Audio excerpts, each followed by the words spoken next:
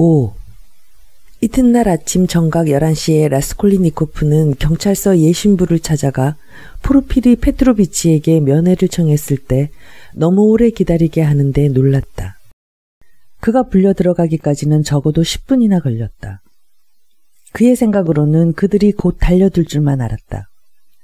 그럼에도 불구하고 그가 대기실에 서 있을 때만 하더라도 그의 곁을 여러 사람이 지나갔건만 아무도 자기와 관계가 있어 보이지는 않았다. 사무실인 듯한 다음 방에는 몇 사람의 서기가 의자에 앉아 글을 쓰고 있었는데 그들 가운데서도 누구 하나 라스콜리니코프가 누구이며 어떤 사람인지 아는 사람은 없는 것 같았다. 그는 좀 불안하고 미심쩍은 눈으로 주위를 둘러보았다. 주위에 무슨 간수 같은 사람이라도 있어서 자기가 어디로 달아나지 않도록 몰래 감시의 눈을 빛내고 있지는 않을까 하고 둘러보았으나 그러한 기색은 보이지 않았다. 그저 바쁘게 일하고 있는 사람들 외에 몇 사람이 보일 뿐 누구 하나 그를 문제 삼는 이는 없었다. 비록 그가 어디로 나가버린다 해도 마찬가지일 것이었다. 그래서 만약 어제의 수수께끼 같은 사내가 다시 말하면 그 땅 속에서 솟아오른 듯한 유령 같은 사내가 모든 것을 보고 있었다고 한다면 지금 이렇듯 라스콜리니코프에게 오래 기다리게 할 리가 없다. 하는 생각이 그의 머릿속에서 굳어져 갔다. 그리고 자기 발로 어슬렁어슬렁 걸어 들어올 때까지 11시까지 멍청히 기다리고 있을 리가 없지 않은가. 그러고 보면 그 사내는 아직 아무것도 고발하지 않았거나 그렇지 않으면 그 사내는 아무것도 모르고 아무것도 보지 못했거나 그 어느 한쪽이다. 그렇다.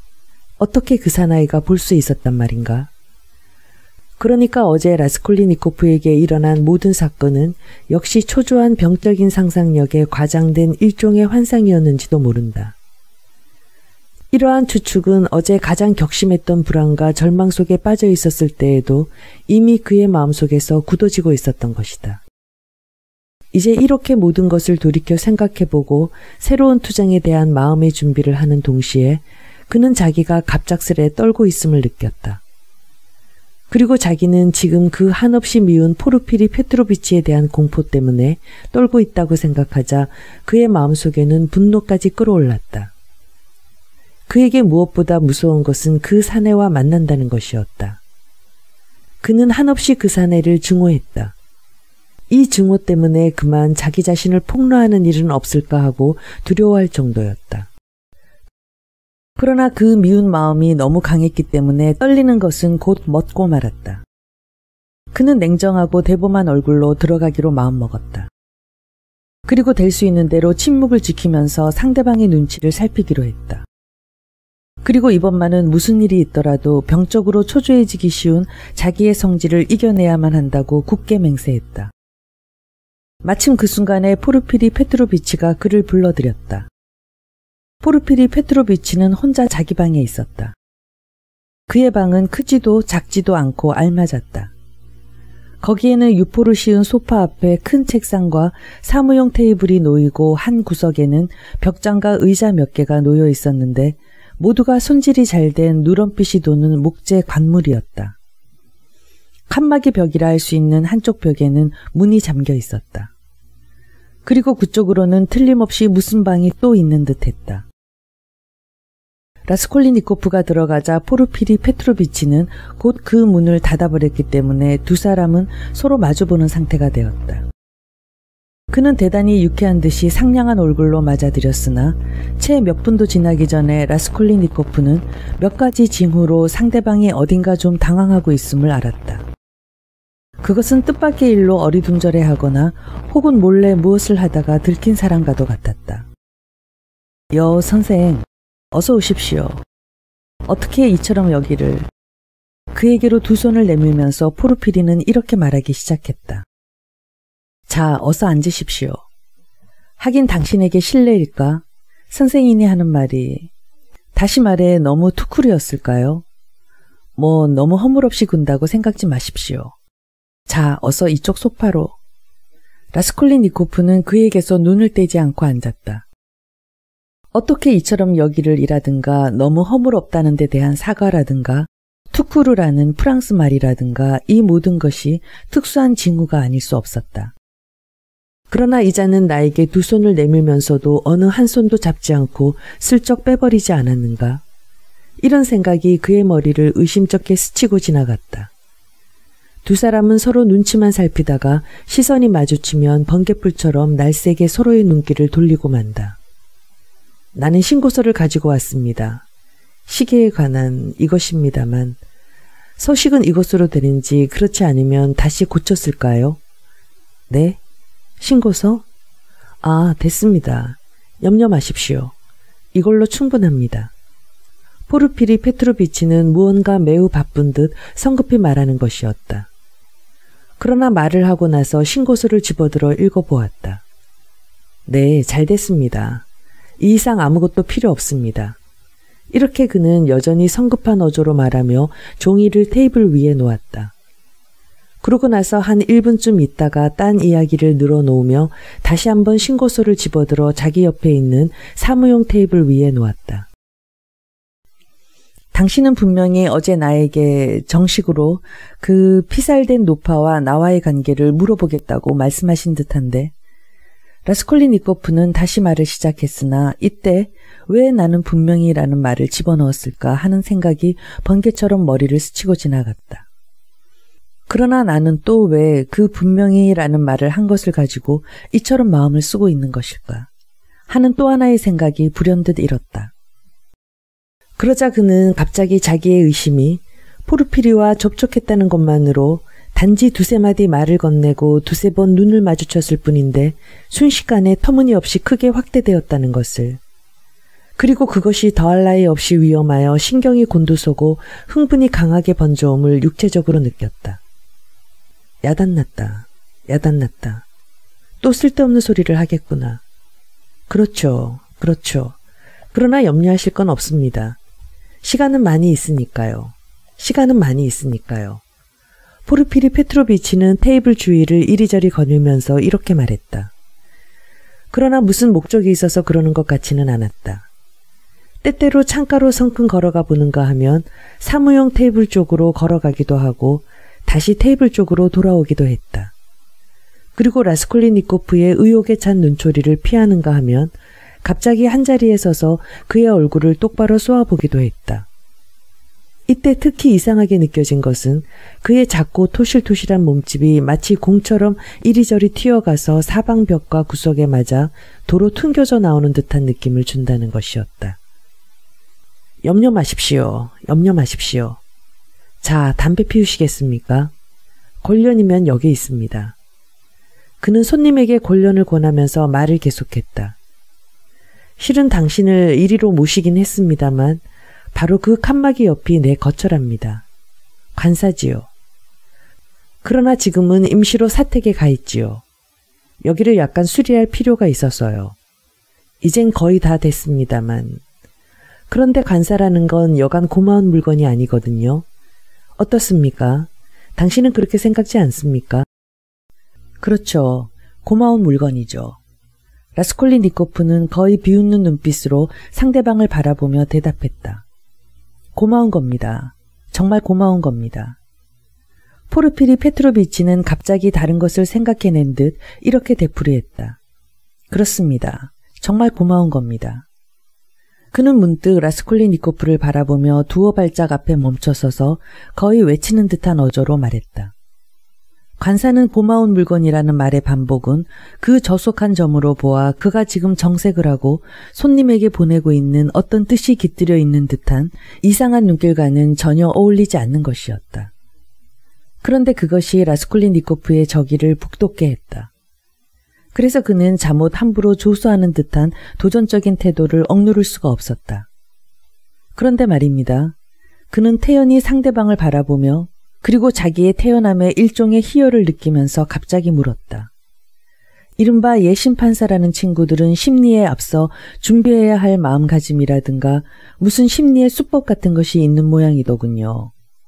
이를테면 처음에는 넌짓이 아무것도 아닌 일, 혹은 중대하기는 하나 전혀 관계없는 것부터 시작해서 피의자에게 용기를 준다든가 좀 더 적절히 말하면 상대방의 주의를 헝클어 버리고 그 경계심을 마비시켜 놓은 다음 나중에 가서 벼랑간 치명적인 위험천만한 질문을 불쑥 퍼부어 상대편의 정신을 어리둥절하게 하는 따위 어떻습니까? 그렇지 않습니까?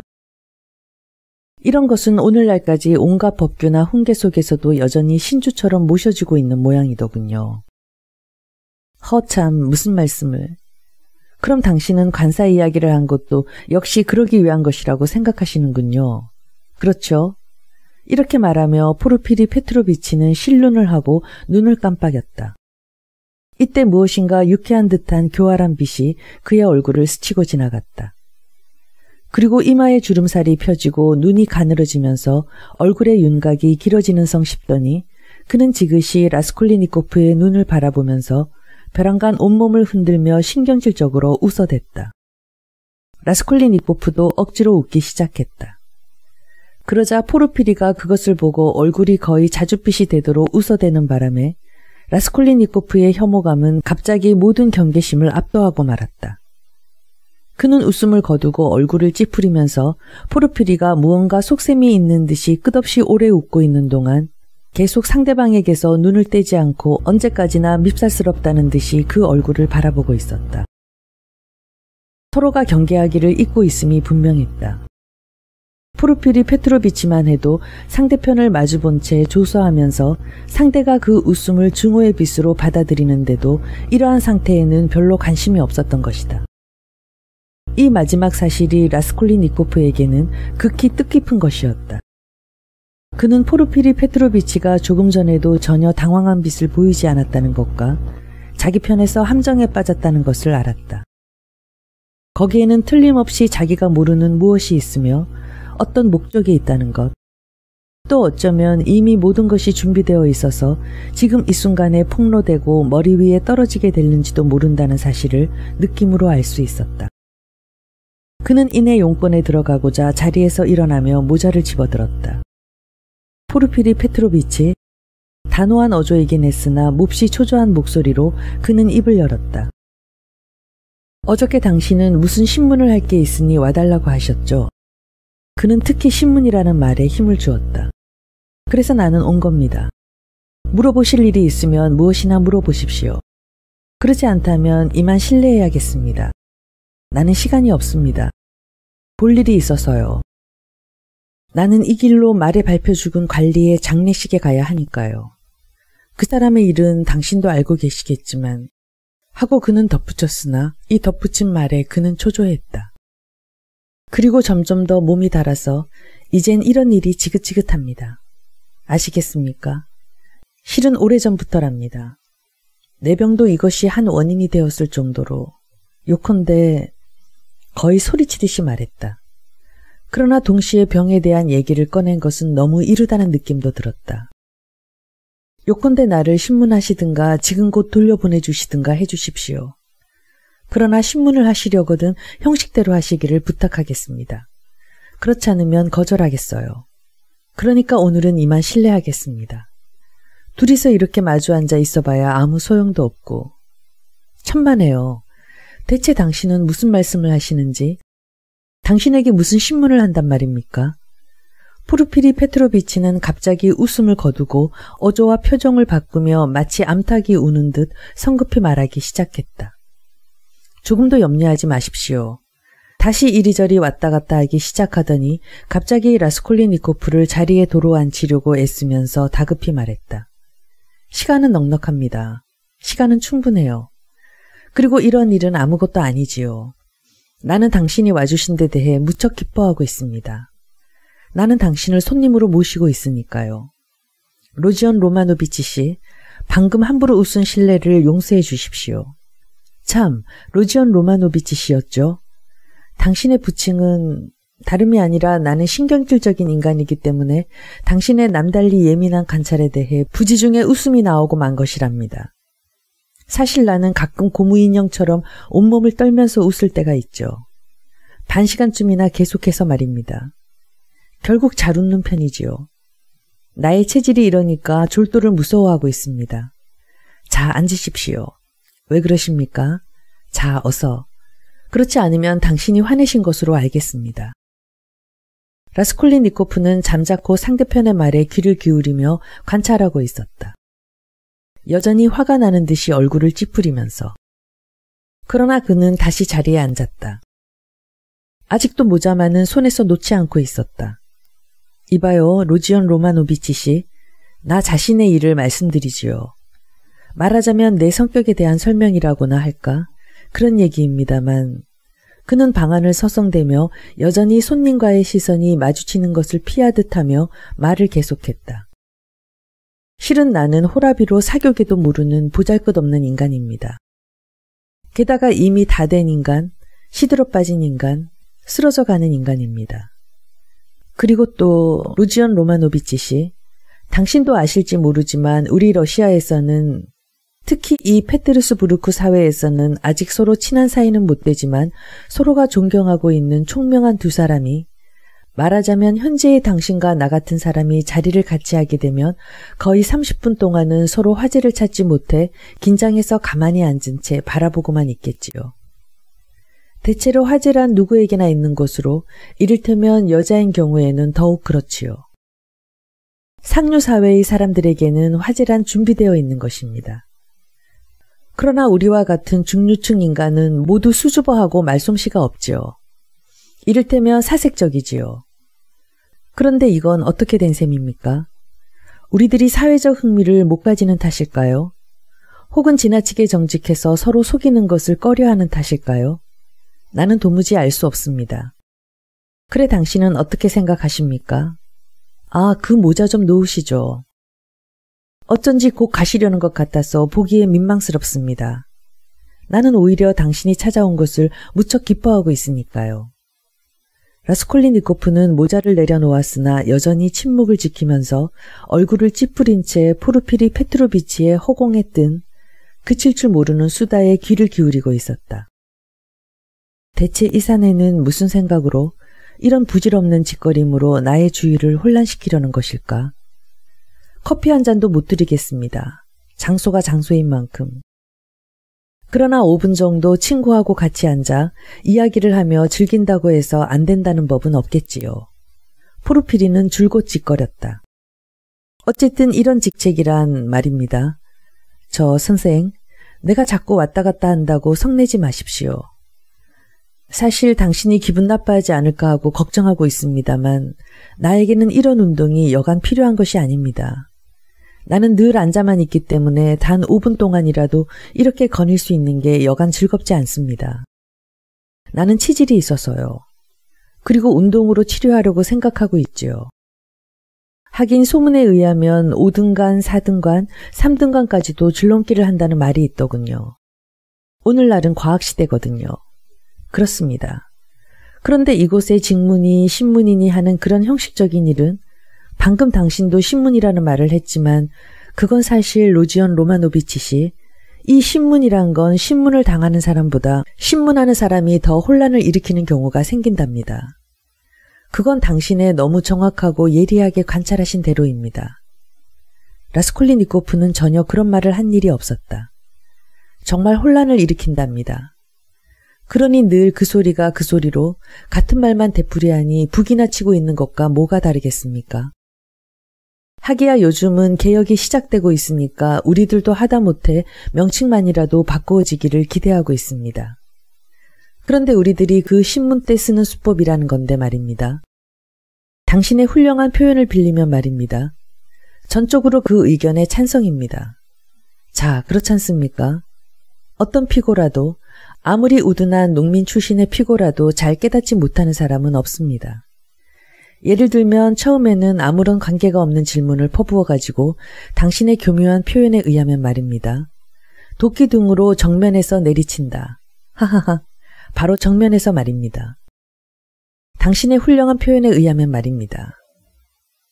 그런데 당신은 내가 그 관사 얘기로 당신을 어떻게 하리라고 생각하셨나요? 당신도 어지간히 비꼬길 좋아하시는 분이군. 아니, 이제 그만두겠습니다. 아, 그렇지. 말하는 김에 한마디 더 해두겠습니다만 말이나 사상이란 무언가 하나를 유인하는 것이니까요. 그런데 아까 당신이 형식이란 말씀을 했죠. 즉 신문 형식에 대해서 말입니다. 그런데 대체 이 형식대로란 무슨 뜻입니까? 형식이란 되게 쓸데없는 것입니다. 경우에 따라서는 친구처럼 정답게 얘기하는 편이 오히려 유리할 때가 있죠. 그러나 형식은 절대로 달아나지 않습니다. 이 점만은 안심하십시오. 그런데 한 가지 물어보겠습니다만 실질적으로 봐서 형식이라는 것은 대체 무엇입니까? 형식이라는 것이 예심 판사를 구속하는 일은 어떤 경우에도 있을 수 없습니다. 예심 판사의 직무는 말하자면 일종의 자유스러운 예술과 같은 것입니다. 다시 말해서 일종의 독특한 예술이라고나 할까요? 뭐 그와 비슷한 것이죠. 포르피리 페트로비치는 여기서 잠깐 숨을 돌렸다. 그는 필요한 줄도 모르고 줄곧 짓거려댔다. 무의미하고 공허한 말을 늘어놓기도 하고 갑자기 무슨 수수께끼와도 같은 말을 하는가 하면 다시 무의미한 말로 되돌아가면서 짓거려댔다. 그는 방안을 거의 뛰다시피 했다. 포동포동하게 살찐 짤막한 다리를 점점 더 빨리 놀리면서 발끝에 눈길을 준 채 오른손은 뒷짐을 지고 왼손은 줄곧 내저으면서 지금 자기가 짓거리고 있는 말과는 전혀 어울리지 않는 몸짓을 했다. 라스콜리니코프는 그가 방안을 돌아다니는 동안 두어 번 문 옆에서 잠깐 걸음을 멈추고 무언가에 귀를 기울인 것을 눈치챘다. 이자는 누구를 기다리는 것일까? 아니, 정말 당신이 말씀하신 대로입니다. 포르피리 페트로비치는 다시 유쾌한 듯이 그리고 유달리 순박한 태도로 라스콜리니코프를 바라보며 말을 계속했다. 그 때문에 이쪽은 흠칫 몸을 떨면서 순간 정신을 차렸다. 사실대로죠. 신문하는 형식을 참으로 따끔하게 비웃으셨군요. 다른 게 아니라 우리들의 의미심장한 심리적 방법이란 지극히 우스운 것이라서요. 물론 전부는 아닙니다. 아니, 오히려 아무 소용도 없다고 할 수 있겠군요. 대개의 경우 너무 형식에 구애받는 경향이 있습니다. 참, 내가 또 형식이란 걸 가지고 떠들어댔군. 그런데 여기 가령 내가 위임받은 무슨 사건을 위해서 갑이나 을이나 병을 범죄자로 인정한다고 합시다. 아니, 좀 더 적절히 말해서 혐의를 둔다고 합시다. 참, 당신은 장차 법률가가 되기를 희망하셨다죠? 네, 그럴 작정이었습니다만. 그렇다면 당신에게 한 가지 뒷날에 도움이 될 만한 말을 해드리겠습니다. 그러나 내가 건방지게 당신한테 강의한다고 생각하시면 곤란합니다. 당신은 이미 훌륭한 범죄론 같은 것을 발표하신 분이니까요. 나는 다만 한 가지 사실을 들어 말씀드리는데 불과합니다. 그래, 내가 만약 갑이나 을이나 병을 범죄자라고 생각했다고 합시다. 그런데 묻겠습니다만, 내가 다수의 증거를 붙잡았다고 하더라도 미리부터 그 본인을 불안하게 할 필요가 있을까요? 그러나 그 중에는 한시바피 체포하지 않으면 안 될 사람도 있긴 하지요. 그러나 그 중에는 또 다른 성질의 인간도 있습니다. 그런 사람에 대해서는 잠시 동안 거리를 싸다니게 내버려 두어도 좋으니까요. 그런데 당신은 내 말을 잘 알아듣지 못하시는 것 같군요. 그러면 좀 더 알기 쉽게 말씀드리지요.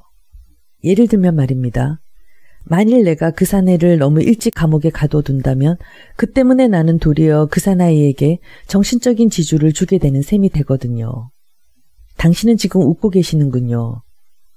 라스콜리니코프는 웃을 생각은 조금도 없었다. 그는 입술을 꽉 다물고 타는 듯한 시선을 포르피리 페트로비치에게 떼지 않고 앉아 있었다. 사실 어느 종류의 범죄자에 대해서는 특히 그렇게 하지 않으면 안 됩니다. 인간은 각양각색이지만 실제적인 방법은 누구에 대해서든 하나밖에 없으니까요. 그래 당신은 방금 증거라는 문제를 들어 말씀하셨지요. 그러나 지금 가령 증거라고 하는 것이 필요하다고 보더라도 사실 그 증거라는 것은 대부분 어느 쪽으로나 취할 수 있는 것이기 때문에 예심판사이며 마음이 약한 사람이기에 고백하지만 나의 심리 결과를 이른바 수학적인 명쾌한 증거를 잡고 싶은 것입니다. 즉, 이인은 사가 된다는 식의 확실한 증거 말입니다. 꼼짝달싹 못하는 틀림없는 증거를 말입니다. 만일 지금 내가 그 사나이를 서둘러서 가둔다고 합시다. 설령 틀림없는 진범이라는 확신을 하더라도 말입니다. 그때야말로 그 사나이에 대한 그 이상의 증거를 얻을 방법을 나는 스스로 포기해버린 거나 마찬가지가 됩니다. 왜냐고요? 그것은 그 사나이에게 일정한 지위를 주고 말하자면 심리적으로 일정한 방향을 부여해서 그 사나이를 진정시켜 주기 때문에 그 사나이는 나에게서 떠나 자기 껍질 속으로 도망쳐 버리고 마는 까닭입니다. 즉, 자기가 죄인이라는 것을 자각하고 말입니다. 듣는 바에 의하면 세바스토폴리에서는 아리아강 전투 직후 이제 막 적이 전력을 다해 일거에 세바스토폴리를 무찌를 것이라고 지식인들은 두려워했지요. 그런데 적이 전공법에 의한 포위법을 택해서 제1선의 평행호를 파는 것을 보고 그 지식인들은 몹시 기뻐하며 안심했다는 말이 있습니다. 말하자면 전공법을 쓰는 경우에는 적어도 두 달 동안은 끌고 나갈 수 있기 때문입니다. 당신은 또 웃으시는군요. 그리고 또 당신은 믿지 않으시죠. 그야 당신의 태도가 옳습니다. 옳고 말고요. 지금과 같은 것은 모두 특수한 경우입니다. 그러나 로지온 로마노비치 씨, 이러한 경우에는 다음과 같은 사실도 고려해 두지 않으면 안 됩니다. 이를테면 모든 법률상의 형식이라든가 법칙이라는 것이 적용되거나 대상이 되거나 책에도 씌어 있는 보편적인 경우는 사실 존재하지 않는다는 것을 말입니다.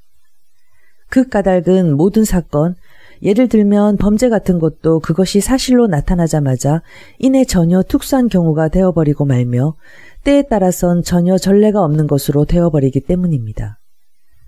그래서 자칫 잘못하면 아주 우스꽝스러운 사건이 발생하는 수도 흔히 있습니다. 그런데 만약 내가 어떤 사나이를 자유스럽게 방임해 두고 체포도 하지 않고 괴롭히지도 않는다면 오히려 상대편은 내가 모든 비밀을 다 알고 있어 줄곧 밤낮으로 자기 뒤를 밟으며 감시하고 있다는 것을 알게 되든가 의심하게 됩니다.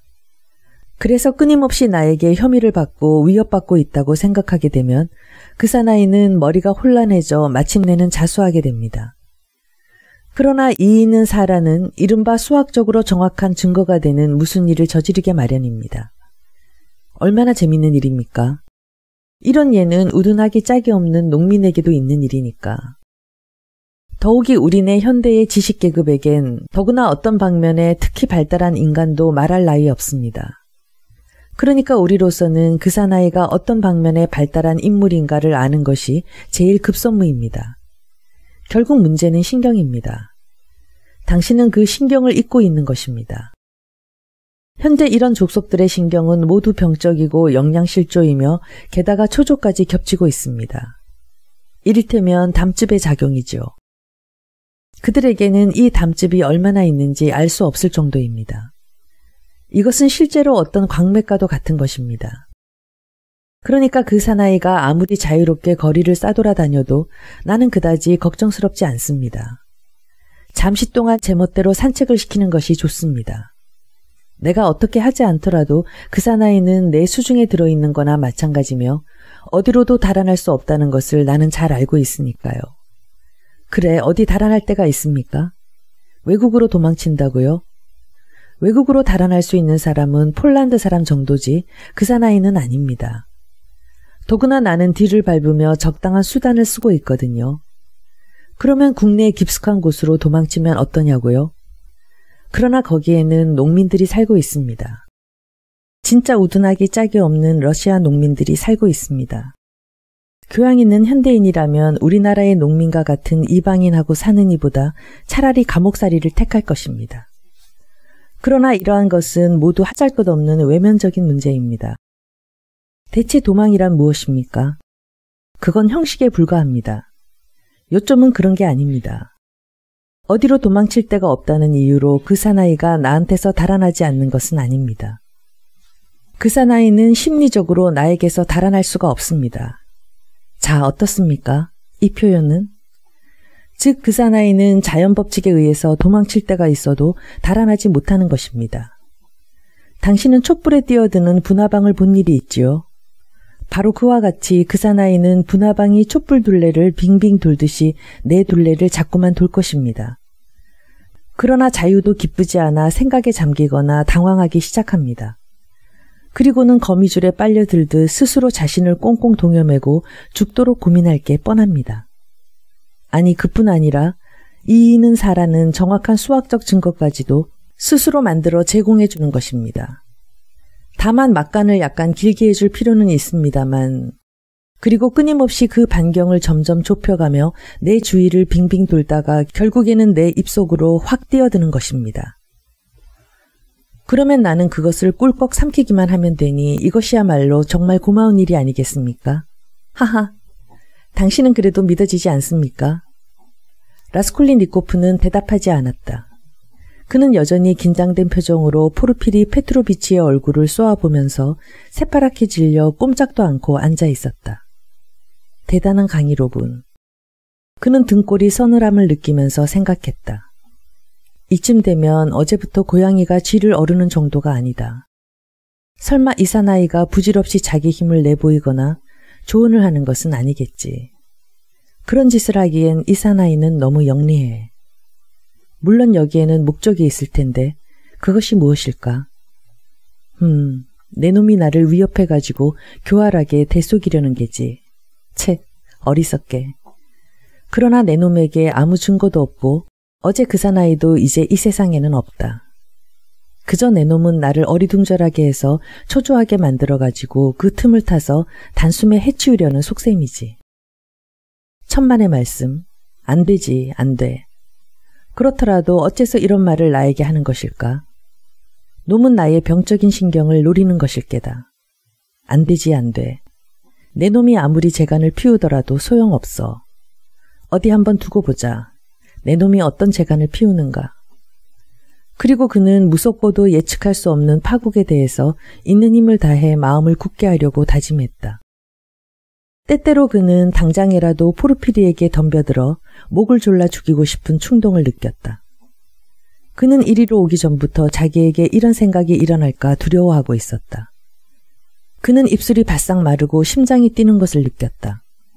그러나 그는 여전히 침묵을 지키고 시기가 올 때까지는 한마디도 하지 않기로 결심했다. 그는 지금의 자기 입장으로서는 그것이 최선의 전술이라고 생각했다. 왜냐하면 그렇게 하고 있으면 자기 쪽에서 말할 걱정이 없을 뿐더러 한 걸음 더 나아가 그 침묵에 의해서 적을 초조하게 만들어 적으로 하여금 무슨 말을 하도록 만들 수 있기 때문이었다. 적어도 그는 이것에 기대를 걸고 있었다. 보아하니 당신은 내 말을 믿지 않으시는 것 같군요. 그리고 또 내가 무슨 농담이라도 하고 있다고 생각하시는 것 같군요. 포르피리는 점점 더 유쾌한 듯이 만족스럽게 웃으면서 다시 방안을 왔다 갔다 하기 시작했다. 그러시는 것도 무리가 아닙니다. 내 생김새부터가 다른 사람에게 우스꽝스러운 느낌을 주도록 하느님이 만들어 놓았으니까요. 말하자면 어릿광대죠. 그러나 다시 한번 되풀이하겠습니다만 로지온 로마노비치 씨, 아무쪼록 이 늙은이를 널리 용서하시고 들어주십시오. 당신은 아직 젊습니다.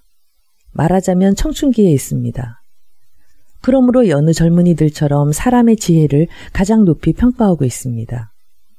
따라서 유희적인 기지의 반로나 논리의 추상적인 논증이 당신을 유혹하고 있는 것 같습니다. 내가 군사상의 사건에 관해서 판단하는 한 마치 오스트리아의 군사회의와 흡사한 것입니다. 지상에서는 그들이 나폴레옹을 분쇄하여 포로로 잡기도 하고 자기 서재에서는 기지를 다하여 계략을 꾸미고 술책에 빠뜨리기도 합니다만 사실은 어떻습니까? 마크 장군 같은 사람은 자기의 부하를 전부 이끌고 항복하지 않았습니까? 아니, 로지온 로마노비치 씨, 당신은 내가 문간의 입장에 있으면서 군사상의 문제를 예로 드는 것을 비웃으시리라는 것을 잘 알고 있습니다. 그러나 할 수 없습니다. 이게 나의 약점이니까요. 군사 방면에 관심이 있어 전쟁 보고서를 읽는 걸 좋아하니까요. 정말 나는 길을 잘못 들어섰습니다. 나 같은 사람은 정말 군대에 근무했으면 좋았을 텐데. 그러면 나폴레옹 정도는 몰라도 소령쯤은 되었을 겁니다. 그럼 이제부터 나의 특수한 경우에 대한 상세한 이야기를 말씀드리겠습니다. 사실이라든가 자연이라는 것은 실로 중요한 것입니다. 그리고 때로 그것은 아주 면밀한 고찰까지도 뒤집어 엎어놓는 수가 있죠. 자, 이 늙은이의 말을 좀 들어보십시오. 나는 진정으로 말하고 있으니까요. 로지온 로마노비치, 이렇게 말했을 때 이제 겨우 35살인 포르피리 페트로비치는 정말 갑자기 늙은이 같아 보였다. 목소리도 변하고 허리까지 굽어 보였다. 게다가 나는 털어놓고 얘기하는 인간입니다. 혹시 그렇지 않던가요? 어떻습니까? 당신 생각은? 나 자신은 그렇게 생각하고 있는데요. 이런 일을 공짜로 당신에게 가르쳐 주고도 아무런 보수를 요구하지 않는 것만 봐도 알 수 있지 않습니까? 자, 그건 그렇고 얘기를 계속하겠습니다. 기질한 놈은 훌륭한 것으로 말하자면 자연의 아름다움이요. 인생의 위안으로서 어떠한 요술도 부릴 수 있다고 봅니다. 그래서 자칫하면 자기 망상에 빠지는 비참한 예심 판사들은 가끔 그것을 판단하는 데 있어 고심하는 수가 있습니다. 자연성이라는 것이 그 비참한 예심 판사를 구해줍니다. 이게 곤란한 거죠. 어제 당신이 대단히 현명하고 교묘한 표현으로 말씀하신 온갖 장애를 밟고 넘어서려 하는 그러한 청년은 이런 점을 염두에 두지 않고 있는 것입니다. 그래서 어떤 사나이가 훌륭하게 거짓말을 했다고 합시다. 즉 이것은 특수한 경우입니다만 그 사나이가 남몰래 아주 교묘하게 거짓말을 했다고 합시다. 그리고 크게 승리한 것처럼 생각하고 자기 기지의 성과를 즐길 수 있다고 생각하는데 벼랑간 쓰러지고 맙니다. 가장 중요하고도 소동이 나기 쉬운 고비에서 말입니다. 사기야 병 때문이라든가 혹은 방한 공기가 무덥다든가 해서 그랬다고 해도 좋습니다. 그러나 결과는 마찬가지입니다. 역시 어떤 암시를 던져주는 점에서는 말입니다. 그 사나이는 실로 교묘하게 거짓말을 해 넘겼지만 가엾게도 자연을 고려할 것을 잊고 있었던 것입니다. 여기에 바로 교활한 함정이 있습니다. 또 그 사나이는 자기를 유희하느라고 자기에게 혐의를 걸고 있는 사나이를 농락하기 시작합니다. 짐짓 연극처럼 파랗게 질려 보이기도 하지만 그것이 너무나 자연스럽게 너무나 진실인 듯이 질려 보이기 때문에 역시 어떤 암시를 던져주게 되는 것입니다. 혹시 처음에는 속여 넘길 수 있다 하더라도 상대편이 바보가 아닌 이상 하룻밤 사이에 이쪽에서도 눈치채고 맙니다. 하여튼 하나하나가 이런 식이지요. 뭐라고 말하면 자기 편에서 대뜸 초조해져서 묻지도 않은 말을 한다든가 또 그와는 반대로 잠자고 있지 않으면 안 될 일을 줄곧 짓거려 된다든가 하며 여러 가지 뜻있는 말까지 그만 입 밖에 내거든요. 그러다가 마침내는 자기 스스로 찾아와서 왜 나를 체포하지 않느냐? 언제까지 내버려둘 작정이냐고 묻는 판이죠. 하하. 이러한 현상은 지극히 기지가 발달한 심리학자나 문학자들에게도 일어날 수 있단 말입니다. 자연이란 거울과 같습니다. 가장 투명한 거울과 같은 것입니다. 자기 자신을 거기 비춰보고 즐길만 합니다. 그건 그렇고 로지온 로마노비치 씨, 왜 그렇게 얼굴이 창백해졌습니까? 숨이 답답하신 게 아닙니까? 창문이라도 열어드릴까요? 아니, 염려 마시고 제발 라스콜리니코프는 이렇게 외치고 갑자기 큰 소리로 웃기 시작했다. 조금 더 염려하지 마십시오. 포르피리는 그의 앞에서 잠시 걸음을 멈추고 서 있다가 자기도 마찬가지로 소리내어 웃기 시작했다. 라스콜리니코프는 그 발작적인 웃음을 갑자기 뚝 끊고 소파에서 벌떡 일어났다. 포르피리 페트로비치 씨, 그는 떨리는 다리로 간신히 서 있음에도 불구하고 그 음성은 높고도 뚜렷했다. 마침내 나는 당신이 나에게 그 노파와 동생 리자베타를 죽인 사람으로 혐의를 걸고 있다는 것을 분명히 알았습니다. 그래서 내가 당신에게 설명하고 싶은 것은 그런 이야기에는 나도 싫증난 지 오래라는 것입니다. 만일 당신에게 나를 법에 의해서 조사할 권리가 있다고 생각하신다면 꺼리지 말고 조사하십시오. 체포하시려면 체포하십시오. 그러나 나를 눈앞에서 조사한다든가 괴롭히는 일만은 용서할 수 없습니다. 갑자기 그의 입술은 떨리고 눈에는 분노의 불길이 타오르면서 지금까지 억제하고 있던 말이 막 터져 나왔다. 용서할 수 없습니다. 그는 갑자기 부르짖으며 힘껏 테이블을 두들겼다. 알겠습니까? 포르피리 페트로비치 씨? 용서할 수 없습니다. 아니, 왜 그러십니까? 또, 적잖이 놀란 빛으로 포르피리 페트로비치는 부르짖었다. 여보시오, 로지온 로마노비치 씨. 자, 정신 좀 차리십시오. 도대체 왜 이러십니까? 용서할 수 없어. 용서할 수 없어. 라스콜리니코프는 다시 한번 외쳤다. 자, 좀 조용히 하시오. 사람들이 듣고 달려오겠습니다. 그러면 뭐라고 말하겠습니까? 좀 생각해 보십시오. 포르피리 페트로비치는 자기 얼굴을 라스콜리니코프의 얼굴 가까이 갖다 대고 무서운 듯이 이렇게 속삭였다. 용서할 수 없어. 용서할 수 없어. 라스콜리니코프는 기계적으로 되풀이했다. 그러나 그것도 어느새 완전히 속삭이는 소리로 변하고 말았다. 포르피리는 재빨리 몸을 돌려 창문을 열기 위해 달려갔다. 환기를 해야겠군. 신선한 공기로. 그리고 물을 마시도록 하십시오. 무슨 발작의 일종이니까요. 그는 물을 가져오라고 하기 위해 문 쪽으로 달려나가려 했으나 때마침 한쪽 구석에 물이 담긴 컵이 하나 있었다. 자, 드십시오. 그는 컵을 들고 라스콜리니코프 곁으로 돌아와서 속삭이듯 말했다. 이걸 마시면 좀 나아질지 모르겠습니다. 포르피리 페트로비치의 놀람과 간호는 너무나 자연스러워서 라스콜리니코프는 입을 다물고 아주 강렬한 호기심으로 그를 바라보기 시작했다. 그러나 물은 받지 않았다. 로지온 로마노비치 씨, 당신이 그렇게 하고 계시면 스스로가 자신을 미친 사람으로 만들고 맙니다. 자, 드십시오. 조금이라도 좋으니 마셔요. 그는 억지로 물이 든 컵을 그의 손에 쥐어 주었다. 라스콜린니코프는 기계적으로 그것을 입으로 가져갔으나 문득 정신을 차리고 혐오의 표정을 지으며 컵을 테이블 위에 올려놓았다. 그렇습니다. 발작이 일어난 것입니다. 그러다간 당신은 또다시 병이 재발하게 됩니다. 포르피리 페트로비치는 친절하고 동정어린 어조로 암탉과 같은 소리를 내기 시작했으나 어딘지 모르게 당황한 표정을 짓고 있었다. 아, 당신은 어쩌자고 자기 몸을 그처럼 돌보지 않습니까? 어제도 드미트리 프로코비치가 나에게 왔었습니다. 그런데 나의 성격이 비꼬기를 좋아하는 좋지 못한 점이 있다는 것은 나도 인정합니다. 그는 어떤 결론을 내린 줄 아십니까? 아, 드미트리는 어제 당신이 돌아가신 뒤에 와서 같이 식사를 했습니다만 어찌나 짓거래되는지 어안이 벙벙했습니다. 거참 어처구니가 없도록 말이죠. 대체 그는 당신이 보냈습니까? 자, 앉으십시오, 선생. 앉으십시오. 아니, 내가 부탁한 것은 아닙니다. 그러나 나는 그가 당신을 찾아왔던 것도 또 무엇하러 왔었는지도 잘 알고 있습니다. 라스콜린니코프는 날카롭게 말했다. 알고 계셨다고요? 알고 있습니다. 그래, 그게 어쨌다는 겁니까?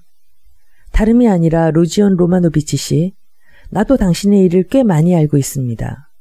무엇이나 다 알고 있죠. 나는 당신이 해질 무렵에 방을 얻으러 나가 배를 울리고 피 이야기를 묻고 나서 그곳 직공과 문지기를 어리둥절하게 만든 일까지 알고 있죠. 그야 그때 당신의 정신 상태는 나도 잘 알고 있습니다. 그러나 그런 일을 하면 자기 자신을 미친 사람으로 만들어 버립니다. 정말이요. 그러다가는 머리가 이상해지고 말 것입니다. 지금 당신의 몸속에서는 첫째는 운명적으로 둘째는 경찰서에서 받은 모욕 때문에 고결한 분노가 굉장한 기세로 끌어오르고 있습니다. 그리고 그 때문에 당신은 되도록 빨리 모든 사람에게 무슨 말이든 하도록 하여 단번에 모든 일을 해결하려고 이리저리 싸다니는 게죠. 그렇지 않습니까? 당신의 마음을 잘 알아맞혔지요. 당신이 그렇게 하고 있으면 그건 당신 혼자만이 아니라 라주미힌까지도 이상하게 만드는 것입니다. 당신도 아시다시피 그는 그런 역할을 하기에는 너무나 착한 사람입니다. 당신은 지금 병 중에 있고 그는 친절한 사람이니까 병이 곧 그에게로 감염되기 쉽습니다. 이제 당신의 기분이 좀 진정되면 모든 걸 이야기해드리죠. 우선 좀 앉으십시오. 선생, 좀 앉으십시오. 그리고 좀 쉬십시오. 안색이 참 안 됐습니다. 잠깐 앉으십시오. 라스콜리니코프는 자리에 앉았다. 전율은 이미 사라지고 온몸이 달아올랐다. 그는 놀란 나머지 자기에게 친절히 대해주는 포르피리 페트로비치에 대해 일종의 놀라움과 긴장에 잠겨서 그의 말에 귀를 기울였다. 그러나 그는 믿고 싶다는 일종의 묘한 욕구를 느꼈으나 한마디도 믿지 않았다. 그러면서도 자기가 새빵을 구하러 나갔던 일에 대한 포르피리의 뜻밖의 말에 깜짝 놀랐다. 어떻게 이 녀석은 그 새집에 대한 것을 알고 있을까? 하는 생각이 문득 떠올랐다. 그걸 자신의 입으로 내게 말하다니. 그렇습니다. 꼭 그와 같은 심리적 사건이 우리가 취급한 재판 사건 중에 있었습니다. 심리적이며 참으로 병적인 케이스였습니다만 하고 포르피리는 빨리 말을 계속했다. 역시 어떤 사나이가 자기가 스스로 살인범이라고 죄를 뒤집어 썼는데 그 방법이 기막히죠. 자기가 본 환각을 끄집어내기도 하고 증거를 제공하기도 하며 범행 광경을 자세히 진술하기도 해서 듣는 사람을 어리둥절하게 만들었습니다. 그런데 말입니다. 그 사나이는 아주 우연히 살인 원인이 되기는 했으나 그것은 극히 일부에 지나지 않았습니다. 그런데 그 사나이는 자기가 살인 원인이 되었다고 생각하고 고민을 한 나머지 멍청하게 되어 여러 가지 망상에 사로잡혀 완전히 머리가 돌아 그만 자기가 진범인 것처럼 생각하게 된 것입니다. 그러나 대법원에서 사건을 잘 심리한 결과 그 불행한 사나이는 무죄임이 판명되어 검사를 받아야 한다는 조건부로 석방되었습니다. 이러한 것은 오로지 대법원의 덕택이죠. 사실 놀랄 만한 일이 아닙니까? 그러니까 선생, 그렇게 하고 있으면 선생도 어떻게 될지 모르겠습니다.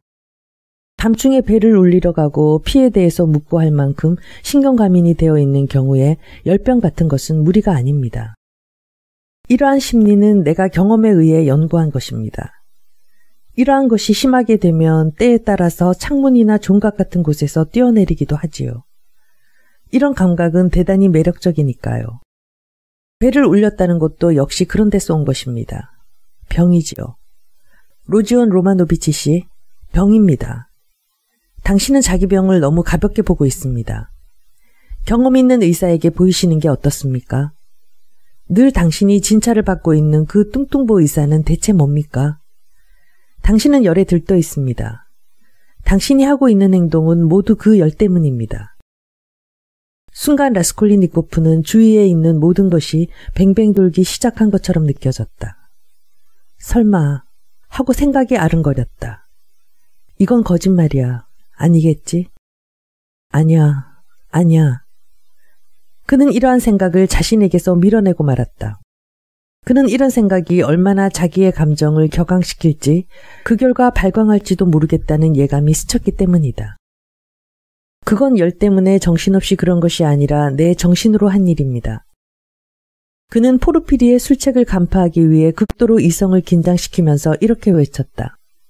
제정신이었습니다. 제정신이었다고요. 알겠습니까? 네, 알고 있습니다. 듣고 있습니다. 당신은 어제도 헛소리를 하지 않았다고 주장했지요. 당신이 말하고 있는 것은 다 알고 있습니다. 네, 알고 말고요. 그러나 여보시오, 루지온 로마노비치 씨. 한 가지만 더 말씀드릴 테니 들어주십시오. 만일 당신이 사실 죄가 있다든가 혹은 그 저주받을 사건에 어떤 관계가 있다면 당신은 그것을 정신없이 한 게 아니라 확실한 의식이 있어서 한 일이라고 주장할 수 있을까요? 더욱이 그것을 특별히 강조하고 모두 제정신으로 한 일이라고. 사실 그런 것을 주장할 수 있을까요? 글쎄, 그럴 수가 있을까요? 한번 생각해 보십시오. 내 생각으로는 그와는 정반대입니다. 만약 당신에게 무슨 약점이 있다면 당신은 무슨 일이 있더라도 사실은 정신이 없었다고 주장하지 않으면 안 될 겁니다. 그렇지 않습니까? 그렇죠. 이 물음 속에는 무언가 교활함이 깃들여 있는 듯한 느낌이 들었다. 라스콜리니코프는 자기 쪽으로 고개를 들이미는 포르피리를 피해서 소파 뒤에 몸을 기댔다. 그리고 아무 말 없이 망설이는 듯 찬찬히 상대방을 살펴보았다. 그리고 라주미힌의 일만 해도 어제 그 친구가 나에게 온 것이 그 친구 자신의 의사였는가 혹은 당신이 부탁했는가 하는 문제를 놓고 봐도 그렇습니다. 당신의 입장으로는 그 친구가 자기 의사로 온 것이지 당신이 시켜서 왔다는 것을 감추지 않으면 안 될 겁니다. 그런데 당신은 그것을 조금도 감추지 않습니다. 뿐만 아니라 당신의 사주에 의한 것이라고까지 주장하십니다. 라스콜린니코프는 그런 것을 주장한 기억이 없었다. 오한이 등골을 스치고 지나갔다. 당신 말씀은 모두 엉터리입니다. 라스콜린니코프는 병적인 미소로 입술을 일그러뜨리며 작은 목소리로 천천히 말했다. 당신은 또다시 나의 뱃속을 들여다보고 있고 내 대답을 미리 다 알고 있다는 것을 보이려 하고 있습니다. 하고 말했으나 자기는 필요한 말을 선택하는 데 있어서 신중하지 못하다고 느끼면서 그는 이렇게 말했다. 그것뿐 아니라 당신은 나를 위협하려 하고 있습니다. 그렇지 않으면 단지 나를 조롱하고 있는 것입니다. 그는 이렇게 말하면서 상대편을 계속 응시하고 있었다. 그러자 벼랑간 다시 한없는 증오가 그 눈에 번뜩였다. 당신 말은 모두 엉터리야. 하고 그는 소리쳤다. 범죄자에게는 감추지 않아도 되는 것은 굳이 감추지 않는 것이 가장 좋은 방법이라는 것쯤은 당신도 잘 알고 있지 않습니까? 나는 당신 같은 사람을 믿지 않소. 당신은 정말 변덕꾸러기입니다. 포르피리는 소리내어 웃기 시작했다. 당신에게는 손을 들었습니다. 당신은 어딘지 편집관 같은 데가 있습니다. 당신은 나를 믿지 않는다고 말씀하셨죠. 그러나 나는 그렇게 생각지 않습니다. 당신은 이미 나를 믿고 있습니다. 4분의 1 아르신쯤은 믿고 있습니다. 이제 나는 1 아르신 전부를 믿게 하겠습니다. 왜냐하면 나는 진정으로 당신을 사랑하고 진정으로 당신의 행복을 바라고 있으니까요. 라스콜리니코프의 입술이 떨렸다. 그렇고 말고요. 당신의 행복을 바라고 말고요. 그래서 마지막으로 말씀드리겠습니다만 라스콜리니코프의 팔을 잠옷 정답게 살짝 잡으면서 그는 말을 계속했다. 분명히 말씀드리겠습니다만 병에 주의하십시오. 그리고 지금 당신한테는 가족 되시는 분들이 오셨으니까 그분들도 좀 생각해 주셔야 하지 않습니까? 당신은 그분들을 안심시키고 위로해 드리지 않으면 안 될 텐데 도리어 놀라기만 하고 있으니. 그래, 그게 어쨌단 말입니까? 어떻게 그걸 아시지요?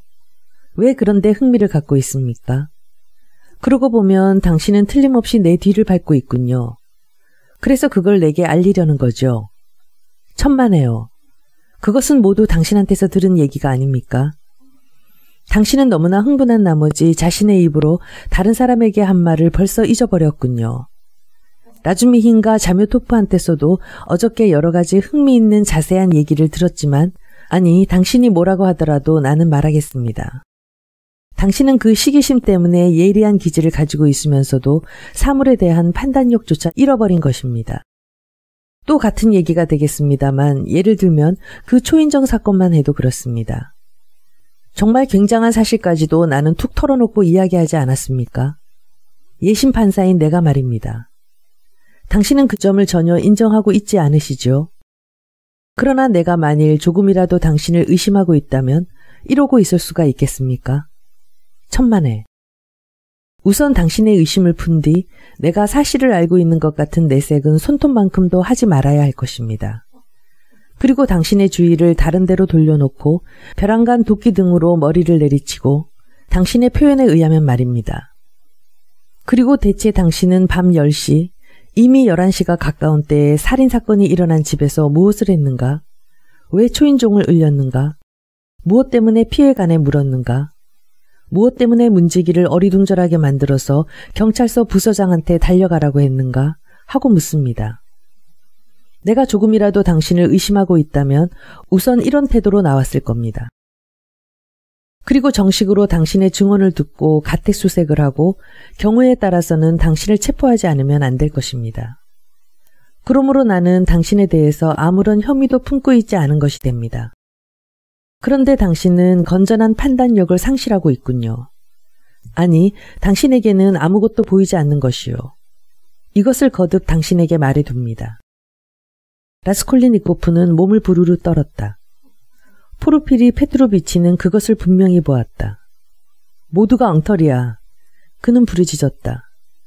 나는 당신이 무슨 목적으로 이러시는지 몰라도 당신이 거짓말을 하고 있는 것만은 틀림없습니다. 조금 전까지도 당신은 그런 투로 말하지 않았습니다. 내가 오해할 리는 없습니다. 당신은 거짓말을 하고 있습니다. 내가 거짓말을 하고 있다고요? 포르피리는 말을 가로챘다. 그는 몸이 달아 이야기하는 것처럼 보였으나 극히 유쾌한 조소적인 표정을 잃지 않으면서 라스콜린 니코프가 자기에 대해 어떤 생각을 품고 있건 그런 것은 아랑곳 없다는 투였다. 내가 거짓말을 한다고요? 그렇다면 아까 내가 당신한테 어떤 태도를 취했습니까? 이래봬도 나는 예심 판사입니다. 나 자신이 당신에게 모든 변호 방법을 암시하고 털어놓지 않았습니까? 병이니 헛소리니 우울증이니 경찰 족속들이 하는 모든 심리적 문제까지 내 입으로 말해버리지 않았습니까? 그렇지 않습니까? 그러나 그건 말이 나온 김에 말이 됩니다만 이러한 모든 심리적 변호법과 구실과 회피는 전혀 효과가 없는 것입니다. 병이었다. 열에 들떠 있었다. 환상이었다. 그런 생각이 들었다. 그러나 기억이 없다. 모두 그것들은 그러했겠지만 그러나 그 병에 걸려 있는 동안 열 때문에 제정신이 아닐 때에는 어째서 다른 환각이 아닌 그런 환각만이 아른거리죠. 다른 환각도 나움직하지 않습니까? 그렇죠. 라스콜리니코프는 오만하게 멸시하는 듯한 눈으로 그를 쏘아보았다. 요컨대 그는 벌떡 일어서는 바람에 포르피리와 부딪혀 그를 밀어젖히듯이 하면서 큰 소리로 말했다. 요컨대 나는 이것을 알고 싶단 말입니다. 즉, 당신은 나에 대해서 절대로 의심할 바가 없다고 생각하고 계시는지, 혹은 그렇지 않은지, 그것을 나에게 말씀해 주십시오. 포르피리 페트로비치 씨, 명백히, 그리고 결정적으로 어서 말해 주십시오. 당장 이 자리에서. 이거 야단났는 걸. 아니, 정말 당신은 난처한 말만 하시는군요. 포르피리는 진정 유쾌하고 교활한 그러나 조금도 걱정스러운 기색이 없는 얼굴로 이렇게 외쳤다. 그런데 당신은 그런 것을 알아 뭐랍니까? 누가 당신의 마음을 어지럽게 하지도 않았는데요. 마치 당신은 철없는 어린아이 같군요.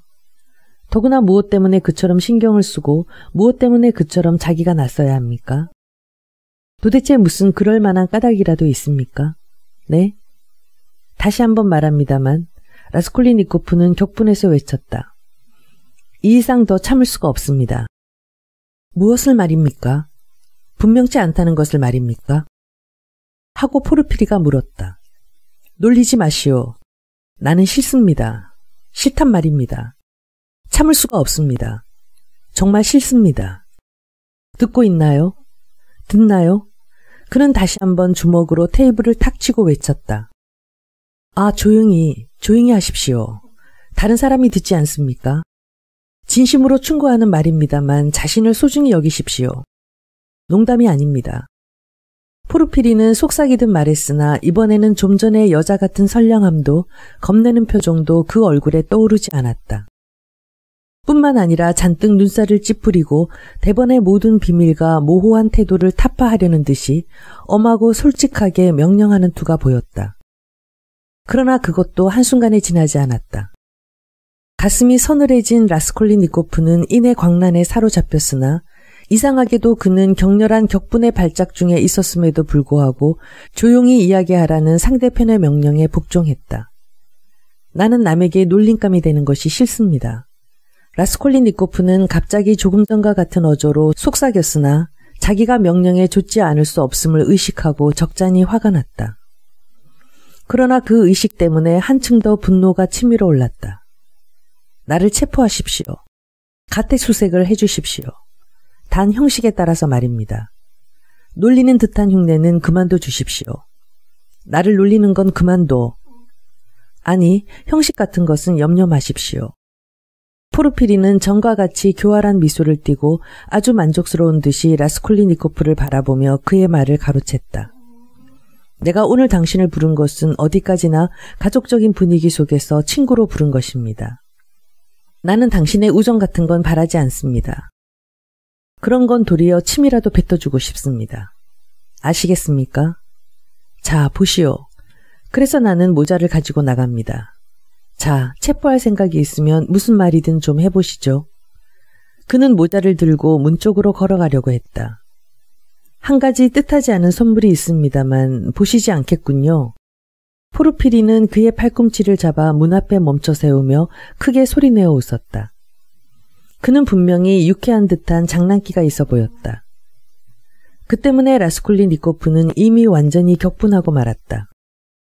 뜻하지 않은 선물이란 무엇입니까? 어떤 것입니까? 그는 갑자기 걸음을 멈추고 놀라는 듯한 눈으로 포르피리를 바라보며 물었다. 뜻하지 않은 선물은 저기 내 방에 있습니다. 그는 자기의 관사로 통하는 칸막이에 붙은 문을 손으로 가리켰다. 나는 그자가 도망치지 못하도록 자물쇠를 잠궈뒀죠. 무슨 말입니까? 어디? 뭐가? 라스콜리니코프는 그쪽으로 다가가 문을 열려고 했으나 굳게 잠가져 있었다. 잠겨 있습니다. 여기 열쇠가 있습니다.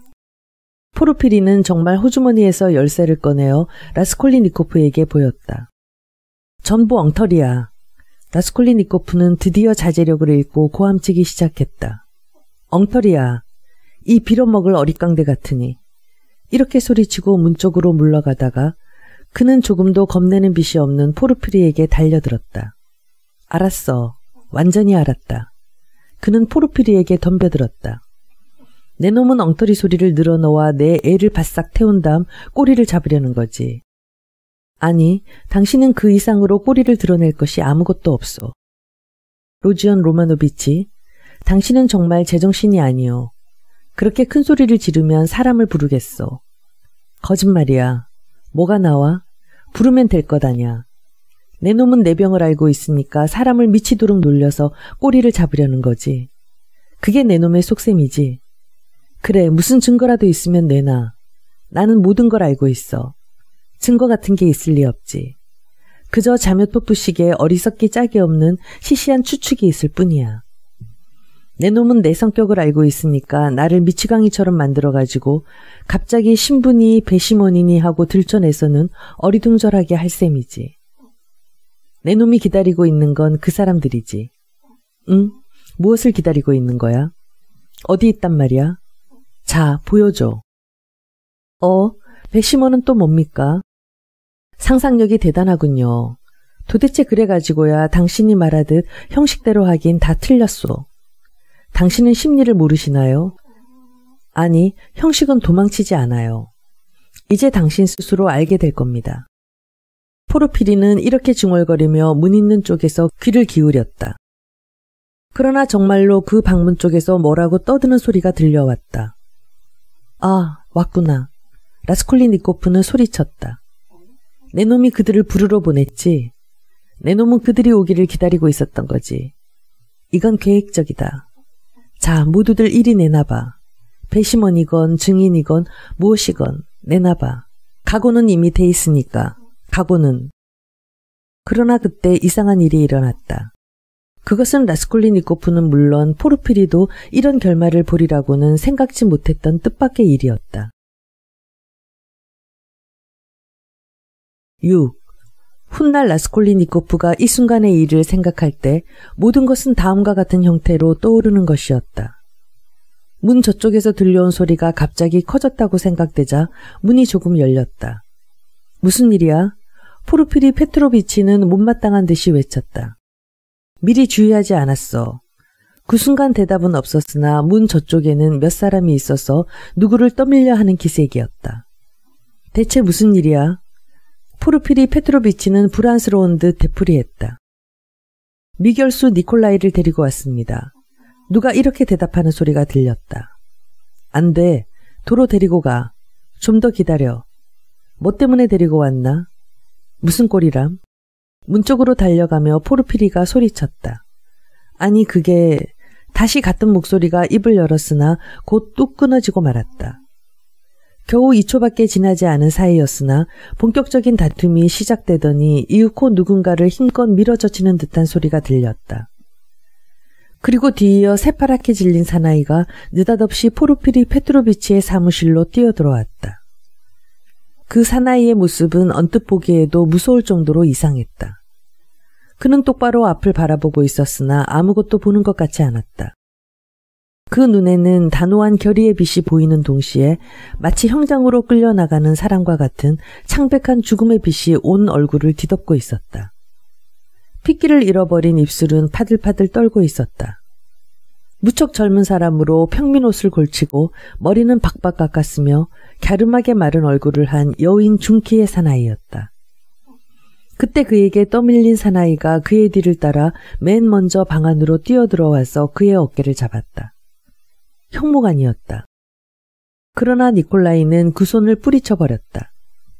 문 앞에는 호기심에 찬 구경꾼들이 모여 있었다. 그 중에 어떤 사람은 방 안까지 들어오려고 했다. 이런 일은 거의 한순간에 이루어졌다. 저리 가 있어. 아직 이르다. 부를 때까지 기다려라. 어쩌자고 이 사나이를 이렇게 빨리 데리고 온 거야? 포르피리 페트로비치는 그만 당황해서 잠옷 못마땅한 듯이 소리쳤다. 그러자 니콜라이가 벼랑간 그 자리에 무릎을 꿇었다. 뭐야? 포르피리는 어이가 없어서 소리쳤다. 잘못했습니다. 제가 나빴습니다. 제가 죽였습니다. 갑자기 니콜라이는 좀 헐떡이고 있었으나 꽤 큰 소리로 말했다. 10초쯤 침묵이 흘렀다. 모두 어리둥절한 듯이 형무관까지도 물러서서 니콜라이한테 가까이 가려는 생각도 하지 못하고 기계적으로 문 쪽으로 뒷걸음질쳐 장승처럼 서 있었다. 어떻게 된 거야? 한순간 말문이 막혔던 포르피리 페트로비치가 정신을 가다듬고 소리쳤다. 제가 죽였습죠. 제가 죽였습죠. 잠시 입을 다물고 있다가 니콜라이는 다시 되풀이했다. 무슨 소리일?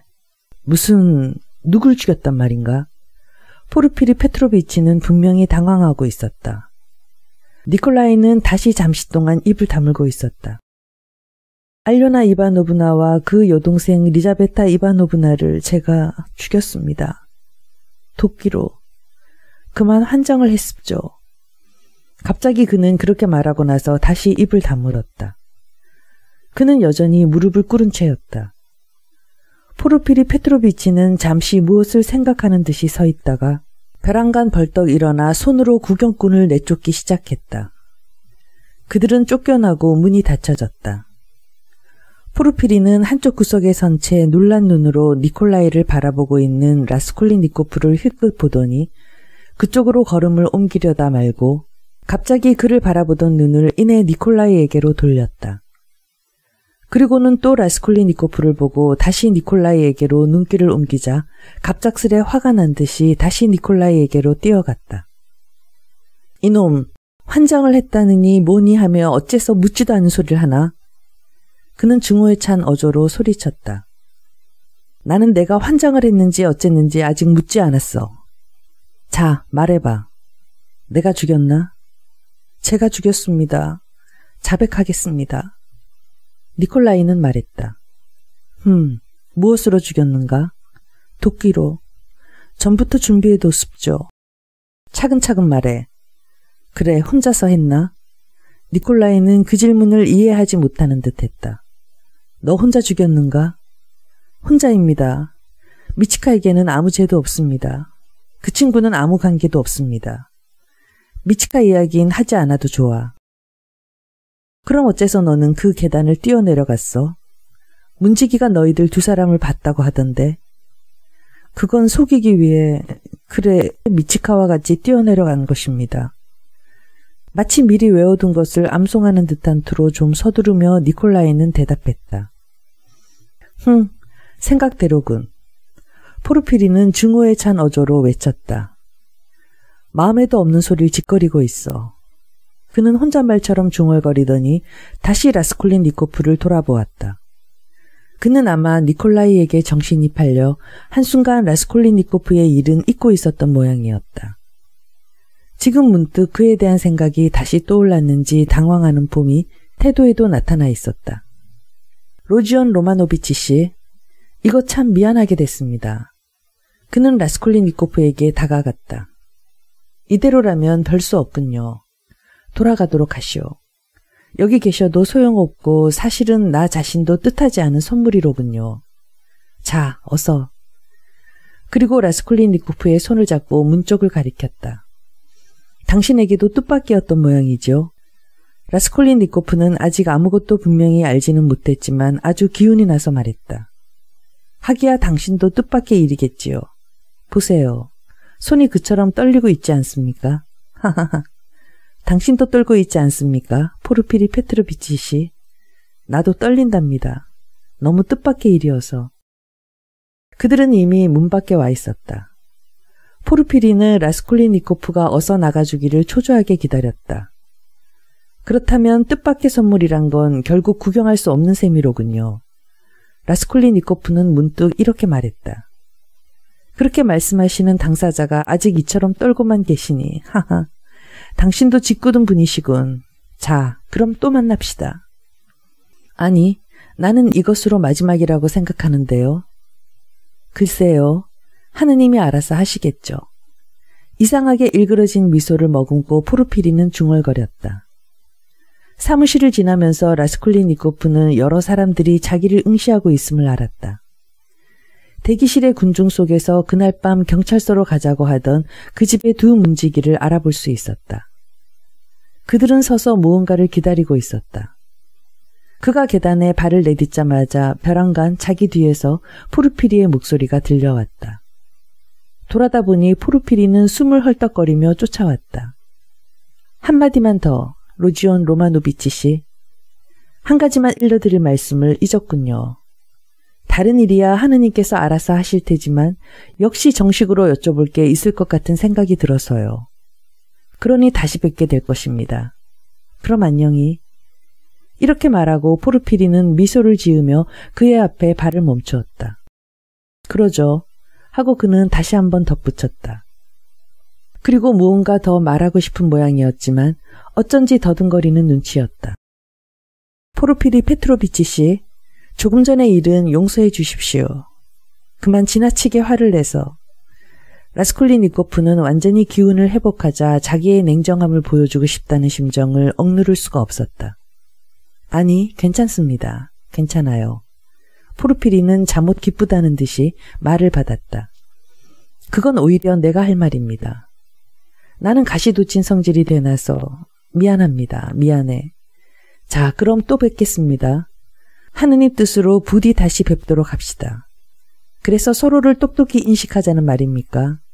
라스콜리니코프는 말을 받아 넘겼다. 그렇지. 서로가 똑똑히 인식하도록 합시다. 포르피리 페트로비치는 맞장구를 치고 나서 눈을 가늘게 떠 정색을 하고 그를 바라보았다. 지금부터 명명일에 축하회가 있나요? 장례식입니다. 아 참, 장례식이었지요. 모쪼록 몸 조심하십시오. 몸을. 나로선 뭐라고 말씀드리면 좋을지 모르겠습니다. 이미 계단을 내려가려던 라스콜리니코프는 문득 포르피리 쪽을 돌아보며 말했다. 사업의 발전을 하고 인사하고 싶습니다만 하긴 당신 사업도 희극적이로군요. 어째서 희극적입니까? 포르피리 페트로비치는 걸음을 돌리다 말고 귀에 거슬린다는 듯이 물었다. 그렇지 않습니까? 당신은 그 가련한 니콜라이가 자백하기까지 당신의 이른바 독특한 심리적 방법으로 괴롭혔음에 틀림없지 않소. 밤낮으로 너는 살인자다. 너는 살인자다. 하고 괴롭혔을 것입니다. 그런데 이제 그 사내가 자백해버리자 당신은 다시 거짓말 마라. 넌 살인자가 아니다. 넌 그런 일을 할 수 없어. 마음에도 없는 말을 하지 마라. 하고 뼈가 녹아나도록 괴롭히려고 하거든요. 자, 이래도 희극적인 사업이 아니란 말입니까? 하하하. 그러고 보니 지금 내가 니콜라에게 이야기한 마음에도 없는 말이란 것을 들으신 모양이로군요. 듣고 말고요. 정말 예민하군요.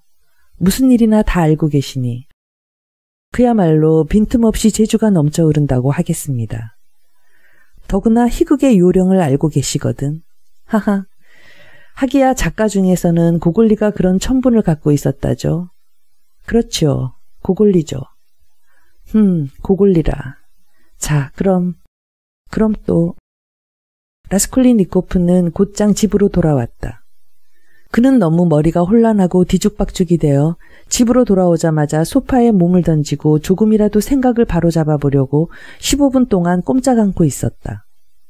니콜라이에 관해서는 생각해 보려고도 하지 않았다. 그는 심한 충격을 받고 있었다. 니콜라이의 자백 가운데는 무언가 지금의 자기로서는 도저히 이해하기 어려운 그리고 설명할 수 없는 놀라운 무엇이 잠재해 있었기 때문이었다. 그러나 니콜라이의 자백은 엄연한 사실임에 틀림없었다. 이 사실이 가져오는 결과도 그는 금방 알 수 있었다. 허위는 결코 폭로되지 않을 수 없다. 그때는 다시 자기를 치조하기 시작할 것이다. 그러나 적어도 그때까지는 자유롭다. 그러니까 그동안 반드시 자기를 수호하기 위한 무슨 공작을 꾸며두지 않으면 안 된다. 어차피 위험은 피할 수 없을 테니까. 하지만 그렇다 해도 위험은 어느 정도의 것일까? 사태는 차츰 분명해져 가고 있었다. 포르피리와의 조금 전의 장면을 생각해 볼 때 그는 무서움에 다시 한번 몸을 떨지 않을 수 없었다. 물론 그는 아직 포르피리의 속셈을 낱낱이 알고 있는 것은 아니다. 조금 전에 그의 목적을 다 간파할 수는 없었다. 그러나 폭로된 술책만 놓고 보더라도 포르피리의 술책상의 이한 수가 얼마나 무서운 것이었나 하는 사실은 어느 누구도 라스콜린니코프 이상으로 느낄 수는 없었을 것이다. 참으로 라스콜린니코프가 한 걸음만 더 내디뎠던들 그의 정체는 완전히 드러났을지도 모른다. 그의 병적인 성격을 잘 아는 데다 첫눈에 그것을 정확하게 간파하고 파악한 포르피리는 좀 지나치긴 하나 꽤 분명한 행동을 하고 있었다. 조금 전에 라스콜린니코프가 자기 입장을 몹시 손상시킨 것은 사실이었다. 그러나 사실에 도달하기까지에는 아직 거리가 있었지만 이들은 역시 상대적인 것에 지나지 않았다. 과연 그는 모든 것을 이해하고 있을까? 잘못 생각하고 있는 것은 아닐까? 오늘 포르피리는 어떤 결과로 이끌어가려고 했던 것일까? 정말 그는 오늘 무엇인가 준비하고 있었을까? 만일 그것이 사실이라면 그것은 무엇일까? 정말 그는 무엇을 기다리고 있었을까? 만일 니콜라이로 인해 그 뜻하지 않았던 결말이 오지 않았다면 두 사람은 오늘 어떻게 헤어졌을까? 포르피리는 자기의 술책을 거의 다 보여주었다. 물론 그것은 모험인지 모르나 하여튼 보여주었다. 만일 실제로 포르피리에게 무언가 그 이상의 다른 생각이 있었다면 그것까지 내보였을 것이다. 라스콜린니코프에게는 그렇게 느껴졌다. 그러나 그 뜻하지 않은 선물이란 대체 무엇일까? 그저 조롱하는 데 지나지 않은 것일까? 그렇지 않으면 무슨 의미가 있는 것일까? 그 말 속에는 무슨 증거가 될 만한 것이나 확보한 기소 재료 같은 것이라도 숨어 있는 것은 아닐까? 그리고 어제의 그 사나이는? 그 사나이는 어디로 사라져버린 것일까? 오늘 그는 어디 있었을까? 만일 포르피리에게 무슨 증거가 될 만한 것이 있었다면 물론 어제의 그 사나이와 관련이 있을 것이다. 그는 고개를 떨구고는 팔꿈치를 무릎 위에 세워 두 손으로 얼굴을 감싸고 소파에 앉아 있었다. 신경질적인 전율이 아직도 그의 온몸에 일고 있었다. 마침내 그는 모자를 집어들고 일어났다. 그리고 잠시 생각한 뒤 문 쪽으로 향했다. 왜 그런지 그는 적어도 오늘 하루만은 절대로 안전하다고 생각해도 좋다는 예감이 들었다. 갑자기 그는 희열에 가까운 감정을 마음속으로 맛보았다. 그는 한시 앞비 카테리나 이바노브나한테 가고 싶었다. 물론 장례식에는 늦었지만 미사에는 늦지 않을 것이다. 그러면 거기서 소냐를 만날 수 있을 것이다. 그는 걸음을 멈추고 잠시 생각했다. 병적인 미소가 입술에 떠올랐다. 오늘이다. 오늘이다. 그는 입속말로 되풀이했다. 그렇다. 오늘이다. 반드시 그렇게 해야지. 그가 문을 열려고 하는데 갑자기 그 문이 저절로 열리기 시작했다. 그는 깜짝 놀라 뒤로 물러섰다. 문은 천천히 그리고 조용히 열리면서 갑자기 사람의 모습이 나타났다. 땅에서 솟아난 듯한 바로 어제의 그 사나이였다. 사나이는 문지방에 서서 말없이 라스쿨리니코프를 힐끗 보고는 방으로 한 발짝 들어섰다. 그는 어제와 똑같은 모습을 하고 있었으나 그 얼굴과 눈초리에는 현저한 변화가 있었다. 그는 지금 어딘지 모르게 풀이 주고 잠시 선 채 긴 한숨을 내쉬었다. 만일 그가 그대로 손바닥을 한쪽 볼에 대고 고개를 기울이면 영락없는 시골 여자의 모습 그대로일 것이다. 무슨 용건이 있습니까? 라스콜리니코프는 죽은 사람처럼 새파랗게 질려서 물었다. 사나이는 잠시 그냥 잠자코 있더니 갑자기 마루에 닿을 만큼 깊숙이 허리를 굽혔다. 적어도 오른손은 마루에 닿았다. 왜 그러십니까? 라스콜리니코프는 소리쳤다. 죄송하게 됐습니다. 사나이는 조용히 말했다. 뭐가요? 나쁜 생각을 했었습니다. 두 사람은 서로 얼굴을 물끄러미 쳐다보았다. 난 화가 났었습니다. 그때 당신이 오셔서 아마 취하신 것 같더군요. 그 집에 와서 문지기에게 경찰에 가라고 하고 피해간에 물어보셨죠. 그걸 그저 주정꾼의 짓으로만 생각하고 그냥 버려둔 것이 화가 났던 것입니다. 얼마나 화가 났던지 참을 수가 없었습니다. 그러다가 당신의 주소를 알아둔 것을 생각해내고는 어제 여기에 와서 물어봤더니 누가 왔습니까? 라스콜리니코프는 순간적으로 어떤 생각을 더듬으며 말을 막았다. 납니다. 결국 당신한테는 미안한 짓을 한 거죠. 그럼 당신은 그 집에 있는 사람이요? 네, 그 집에 있었지요. 그때 다른 사람과 같이 문가에 서 있었죠. 벌써 잊으셨습니까? 우리들은 전부터 거기에 일터를 가지고 있습니다. 전부터 모피를 가공하는 직공인데 집에서 주문을 받고 있습니다. 하지만 어찌나 화가 났던지 그때 문득 라스콜리니코프에게는 그저께 그 집 문간에서 일어난 일이 환하게 떠올랐다. 그때 거기에 문지기 외에도 몇몇 남자와 여자 두어 사람이 서 있었던 일이 생각났다. 그리고 그때 벼랑간 자기를 경찰에 데려가라고 소리친 어떤 목소리 하나를 기억하고 있었다. 그 얼굴은 기억나지도 않고 지금 만난다 해도 알 수는 없지만 그때 자기가 그쪽을 향해 뭐라고 대꾸한 기억이 났다. 그러니까 이것으로 어제의 그 공포는 완전히 사라진 셈이었다. 무엇보다도 두렵게 생각되는 것은 이런 사소한 일 때문에 하마터면 자신을 망쳐버릴 뻔했던 일이었다. 그러고 보면 새빵을 얻으려던 일과 피에 대한 이야기 말고는 이 사나이로서는 아무 말도 할 수 없을 것이다. 따라서 포르피리가 잡고 있는 증거도 열에 들떠 있었던 그 행위 말고는 달리 아무것도 없을 것이다. 두 가지로 해석할 수 있다는 심리 말고는 아무런 증거도 확실히 잡고 있는 게 없을 것이다. 그러니까 이 이상 아무 사실도 나타나지 않는다면 그런 건 나타날 리가 없다. 절대 없다. 절대 없다. 그때는 그들이 나를 어떻게 할 수 있단 말인가? 비록 체포한다 하더라도 무슨 명목으로 나를 처벌할 수 있을 것인가? 그러고 보면 포르피리가 알고 있는 내가 방을 구하려 했다는 사실도 지금 금방 안 것임에 틀림없다. 그전에는 전혀 모르고 있었을 것이다. 그럼 오늘 포르피리에게 말한 것은 당신이었군요. 내가 거기 갔었다는 이야기를 한 것은 그는 문득 머리에 떠오른 생각에 놀라면서 외쳤다.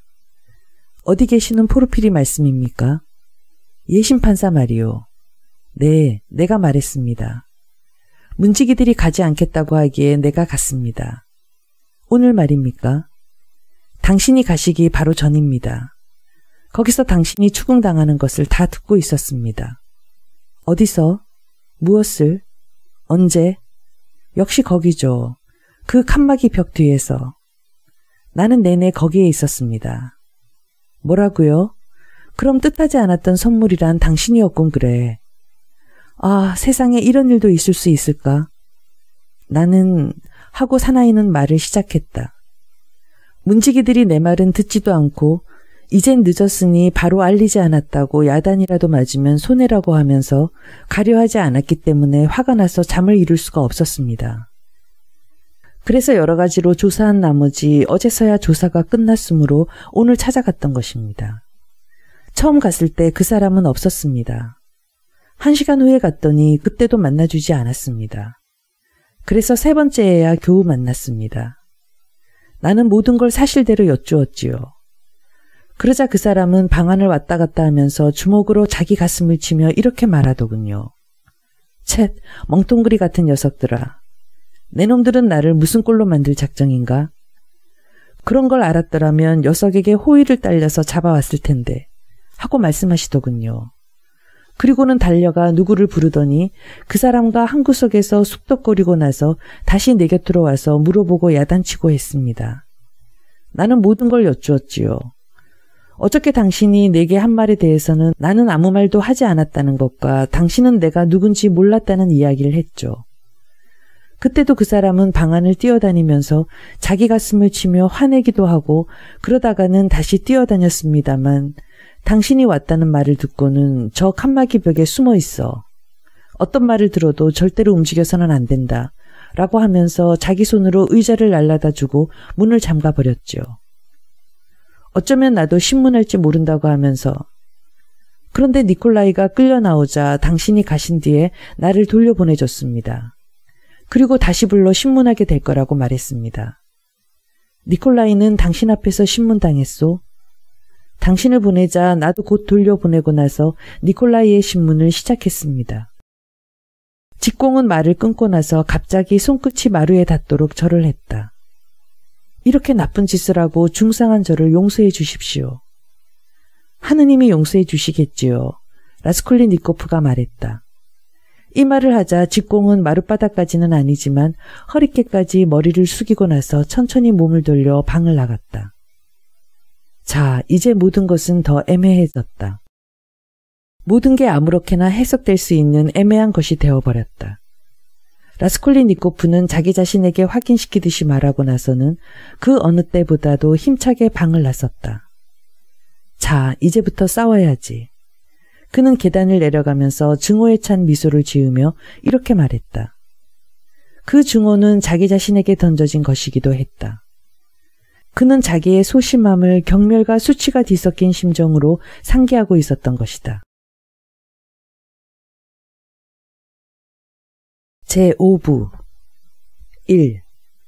두냐와 폴리에리아 알렉산드로브나를 상대로 서로 옥신각신하며 운명을 좌우하는 단판을 지었던 다음날 아침 루지는 술이 깨는 듯한 느낌이 들었다. 그가 다시 없이 불쾌하게 느낀 것은 이미 생긴 그 사건을 말하자면 어제까지는 아직 꿈같이 또 있을 수 없는 것처럼 생각하고 있었던 일을 이미 그렇게 되어버린 사실로서 인정하지 않으면 안 되는 상황이었다. 상처받은 자존심의 검은 뱀이 밤새도록 그의 심장을 핥으며 괴롭혔다.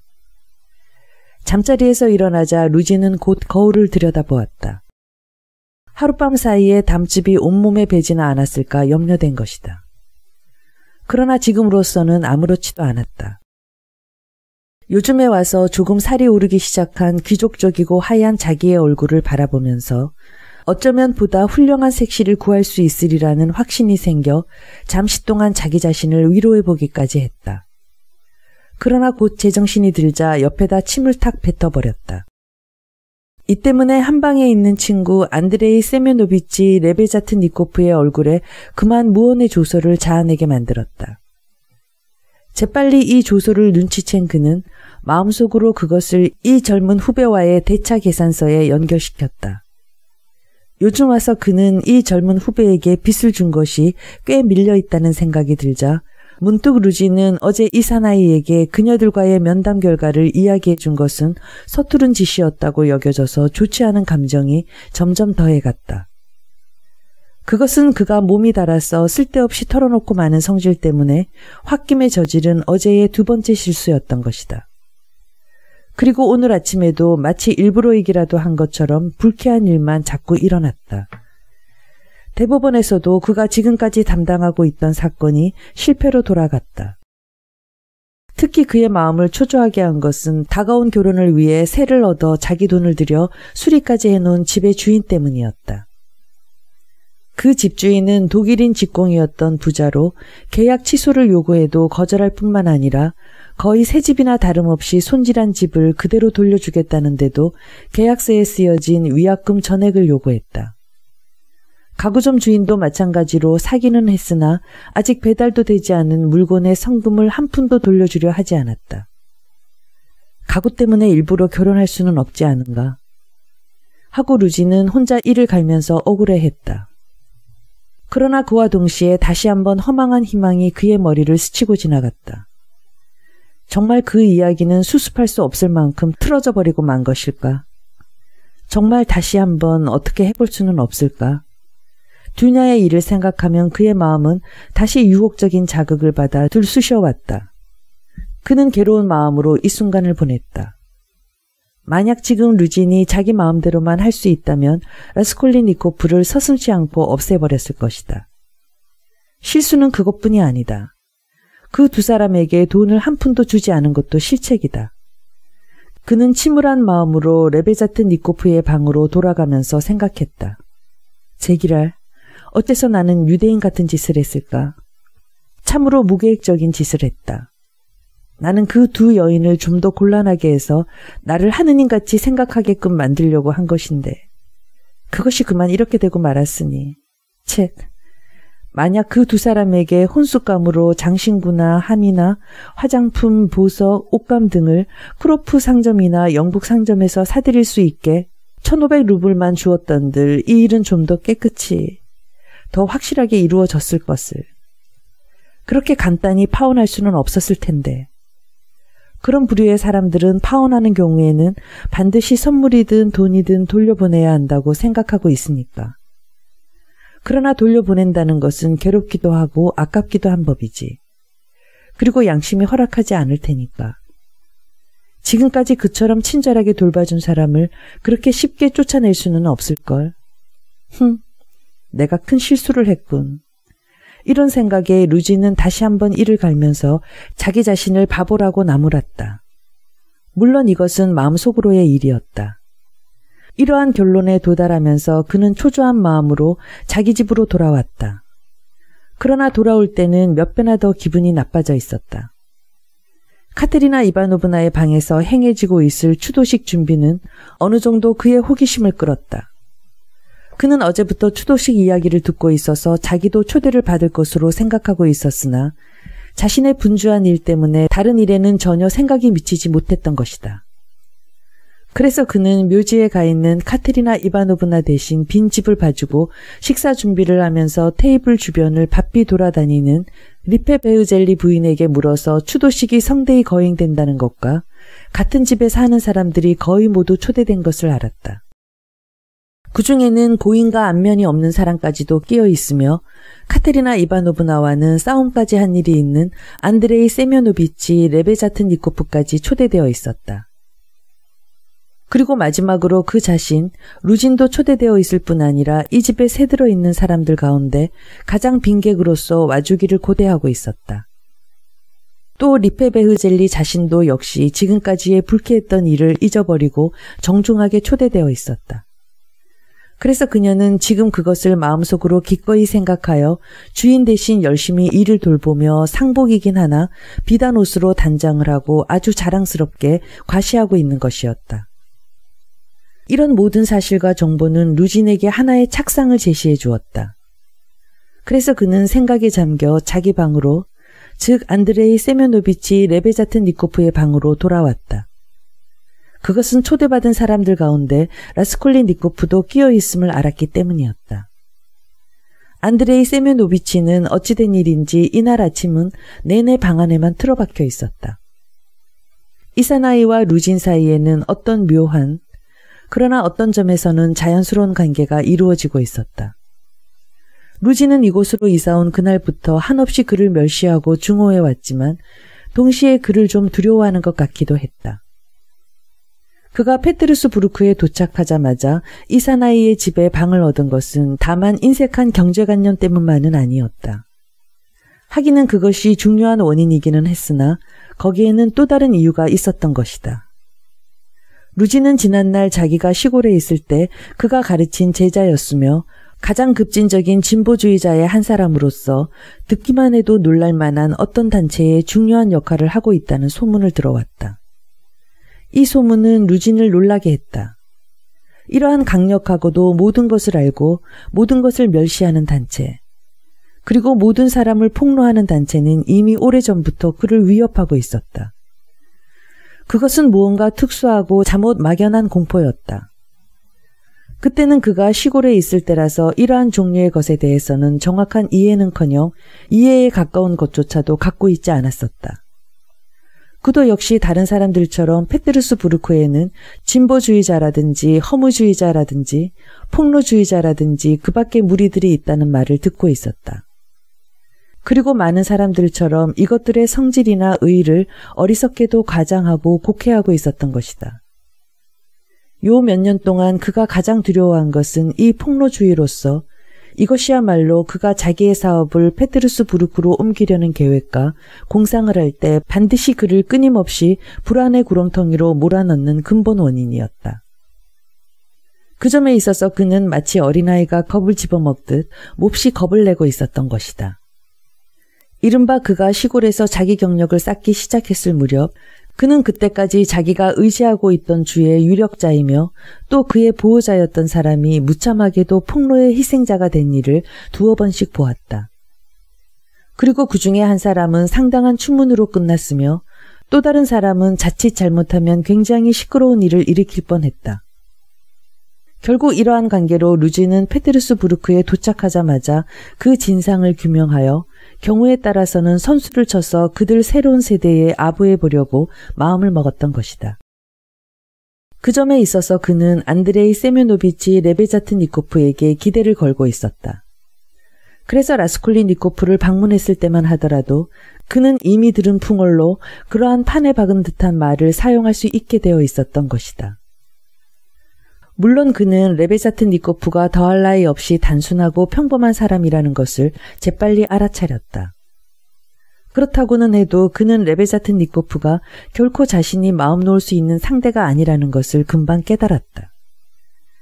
만약 그가 레베자트 니코프처럼 진보주의자라는 것을 모두가 바보라고 확신하게 되더라도 역시 그의 불안은 그리 쉽게 사라지지는 않았을 것이다. 본디 교의라든가 사상이나 체계는 그에게 있어 아무 소용도 없는 것이었다. 그런 것을 가지고 안드레이 세메노비치는 언제나 그에게 대드는 것이다. 그에게는 그 나름의 목적이 있었다. 그는 그저 다음과 같은 것을 한시바삐 알고 싶었을 뿐이었다.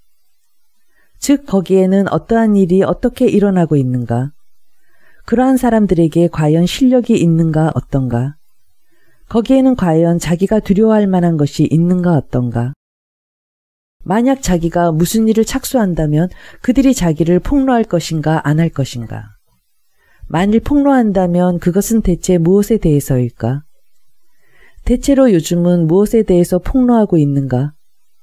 뿐만 아니라 그들이 정말 힘을 가지고 있다면 교묘하게 그들과 접촉해서 오히려 한번 골탕을 먹여줄 수는 없는 것인가? 그리고 이것이 필요한 일인가, 그렇지 않은 일인가? 말하자면 그들을 이용하여 어떻게 자기 출세에 도움이 되도록 할 수는 없는 것일까? 요컨대 그의 앞에는 수많은 의문이 놓여 있었다. 레베자트 니코프는 어떤 관청에 근무하는 아주 약한 선병질의 키가 작은 사나이로서 남달리 머리카락이 누르스름했는데 위가 가늘고 밑이 둥그름한 한갈색의 구렛나루를 언제나 자랑했다. 게다가 그는 늘 눈병을 앓았다. 본디는 꽤 소심한 편인데도 말하기 시작하면 자신만만해져서 때로는 지나칠 만큼 거만하게 짓거릴 때도 있었다. 그것은 그의 허약한 몸집에 비해서 언제나 우스꽝스러운 느낌을 주곤 했다. 그러나 아말리아 이바노브나의 새빵 사람들 중에서 그는 가장 성실한 편으로 알려져 있었다. 즉 술주정도 안 하고 방새도 꼬박꼬박 물었기 때문이었다. 이러한 성격이면서도 그는 어딘지 모자라는 데가 있었다.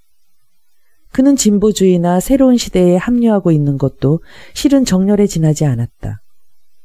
이 사나이는 경솔하게 곧 최신 유행의 사조에 빠져버리고 빠져버렸는가 하면 이내 그것을 속화하여 때로는 가장 성실하게 봉사하면서도 모든 것을 희화화해버리는 수없이 많은 속된 인물의 하나요. 그리고 무엇 하나 제대로 배우지 못하는 전응아 가운데 한 사람이었다. 그러나 레베자트 니코프는 아주 좋은 사람이었음에도 불구하고 지금은 자기의 동거인이며 이전에는 자기의 보호자였던 루진에 대해서 실증을 내기 시작했다. 그렇다고 해서 서로가 무슨 속셈을 드러내 보인 것은 아니다. 자연히 서로가 그런 심정이 되어버리고 만 것이다. 레베자트 니코프가 아무리 둔한 인간이라 해도 루진이 자기를 이용하고 있다는 것과 마음속으로 은근히 멸시하고 있다는 것, 그리고 실제로는 결코 그런 사람이 아니라는 것을 차츰차츰 깨닫게 된 것이다. 그는 푸리에의 이론과 다윈의 학설을 루진에게 설명해 주려 했으나 루진은 특히 요즘 와서 매우 비웃는 태도로 그것을 들을 뿐 아니라 최근에 와서는 욕짓거리마저 했던 것이다. 그것은 루진 편에서 상대방의 정체를 본능적으로 꿰뚫었기 때문이기도 하다. 즉 레베자트 니코프는 단순히 머리가 둔한 속물이라는 것뿐만 아니라 어쩌면 거짓말쟁이요. 자기네 서클 사이에서도 아무런 중요한 자리에 있지 못하고 그저 다른 사람의 입을 통하여 들은 말을 대싣고 있을 뿐이라는 것이었다. 그것도 횡설수설하는 것으로 보아 자기 자신의 선전 사업도 그다지 모르는 것 같았으므로 폭로주의자가 되기는 어림도 없는 일이었다. 이야기가 나온 김에 몇 마디 더 하지만 루진은 이 한 주일 반 동안 특히 처음에는 레베자트 니코프로부터 이상한 찬사까지도 감수하고 있었다. 이를테면 레베자트 니코프가 곧 어느 상가에서 새로운 공산자치단체가 창설되는 경우 루진은 그 건설에 힘을 다할 것이라든지 또는 결혼하자마자 두냐가 애인을 만들려고 마음먹는다 하더라도 루지는 그 일을 방해하지 않을 것이라든지 또 앞으로 태어날 자식에게도 세례를 받게 하지 않을 것이라는 등 여러 가지 말을 하는 것이었으나 그는 그다지 대꾸도 없이 잠자코 듣고만 있었던 것이다. 즉 루지는 여느 때의 버릇대로 자기의 성질에 대해서 어떤 말을 하든지 항의하지 않고 또 어떠한 칭찬을 받더라도 잠자코 듣고 있었다. 그만큼 그에게는 온갖 찬사가 마음에 들었던 것이다. 루진은 그날 아침 웬일인지 오 푼 이자가 붙은 증권을 몇장 바꾸어 가지고 와서 테이블 앞에 앉아 지폐와 채권 다발을 계산하고 있었다. 그때까지 돈이라는 것을 가져본 적이 없는 레베자트 니코프는 방안을 왔다 갔다 하면서 그런 돈 뭉치쯤은 보아봤자 자기는 아무렇지도 않다는 듯이 경멸의 눈길을 보냈다. 그러나 루진은 레베자트니코프가 이렇게 많은 돈을 정말 무관심하게 보리라고는 결코 믿을 수가 없었다. 또 레베자트니코프는 상대방이 자기에 대해서 그런 생각을 품고 있다는 것을 알고는 결국 루진이 이쪽의 무력함과 두 사람 사이에는 현격한 차이가 있다는 것을 보여주기 위해 돈뭉치로 젊은 자신의 마음을 들뜨게 하고 조롱하는 기회가 온 것을 기뻐하고 있는지도 모른다고 생각하고 있었다. 그는 즉 레베자트 니코프는 루진 앞에서 새로운 특별 공산자치단체의 건설이라는 자기가 좋아하는 문제를 꺼내려고 했으나 오늘은 상대방이 전에 없이 초조해하고 거의 관심을 갖지 않는다는 걸 깨달았다. 주파나를 퉁기면서 내뱉는 루진의 간단한 항의와 비평은 너무나 속이 빤히 들여다 보이는 의식적인 모욕과 조소에 가득 찬 것이었다. 그러나 휴머니스트로 자처하는 레베자트 니코프는 루진의 이러한 정신 상태를 루진이 어제 두냐와 파혼한 탓으로 돌리고 한시바삐 그 문제로 들어가려는 희망에 불탔다. 그는 이 문제에 대해서도 존경하는 친구를 위로해 줄 뿐만 아니라 앞으로 루진의 정신적 발달에 반드시 이익이 될 만한 진보적이며 선전적인 가치가 있는 의견을 가지고 있었던 것이다. 대체 거기서는 어떤 추도식이 있는가? 저 미망인의 집에서는 루지는 레베자트 니코프의 말을 가장 중요한 대목에서 가로채며 갑자기 이렇게 물었다. 아직도 전혀 모르고 계시는 것 같군요. 바로 어제 내가 그것을 주제로 해서 그러한 종교적 의식에 대한 의견을 말씀드리지 않았습니까? 그리고 그 여자가 당신도 초대하지 않았습니까? 그걸 나도 들었습니다. 당신 자신도 그 여자와 이야기하고 계셨으면서 뭘.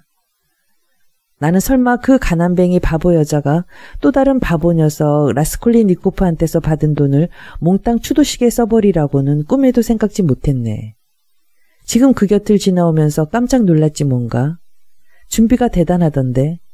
술이니 뭐니 하며 손님도 여러 청해놓고 도대체 무슨 법석이지? 루지는 무슨 속셈이 있는지 여러 가지 질문을 하면서 그를 이 화제로 이끌어갔다. 뭐? 나도 초대받았다고?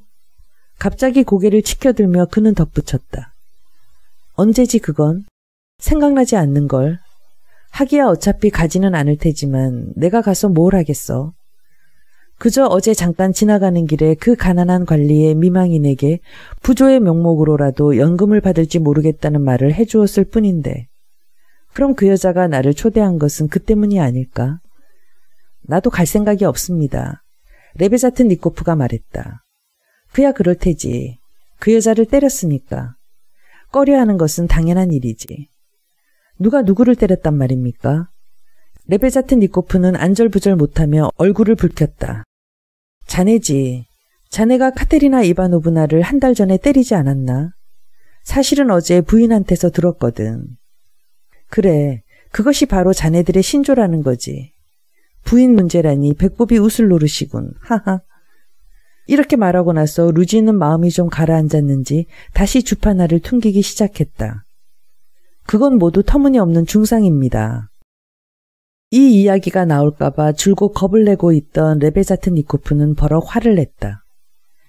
이야기가 전혀 사실과 다릅니다. 그건 다른 이야기입니다. 당신이 잘못 들은 것입니다. 밑도 끝도 없는 이야기입니다. 나는 그때 방어 태세를 취했을 뿐입니다. 그 여자가 먼저 덤벼들어 할퀴는 데다 내 턱수염을 잡아 뜯었지요. 사람이란 누구나 자기 인격을 옹호한다고 해서 나쁘다고 할 수는 없지 않습니까?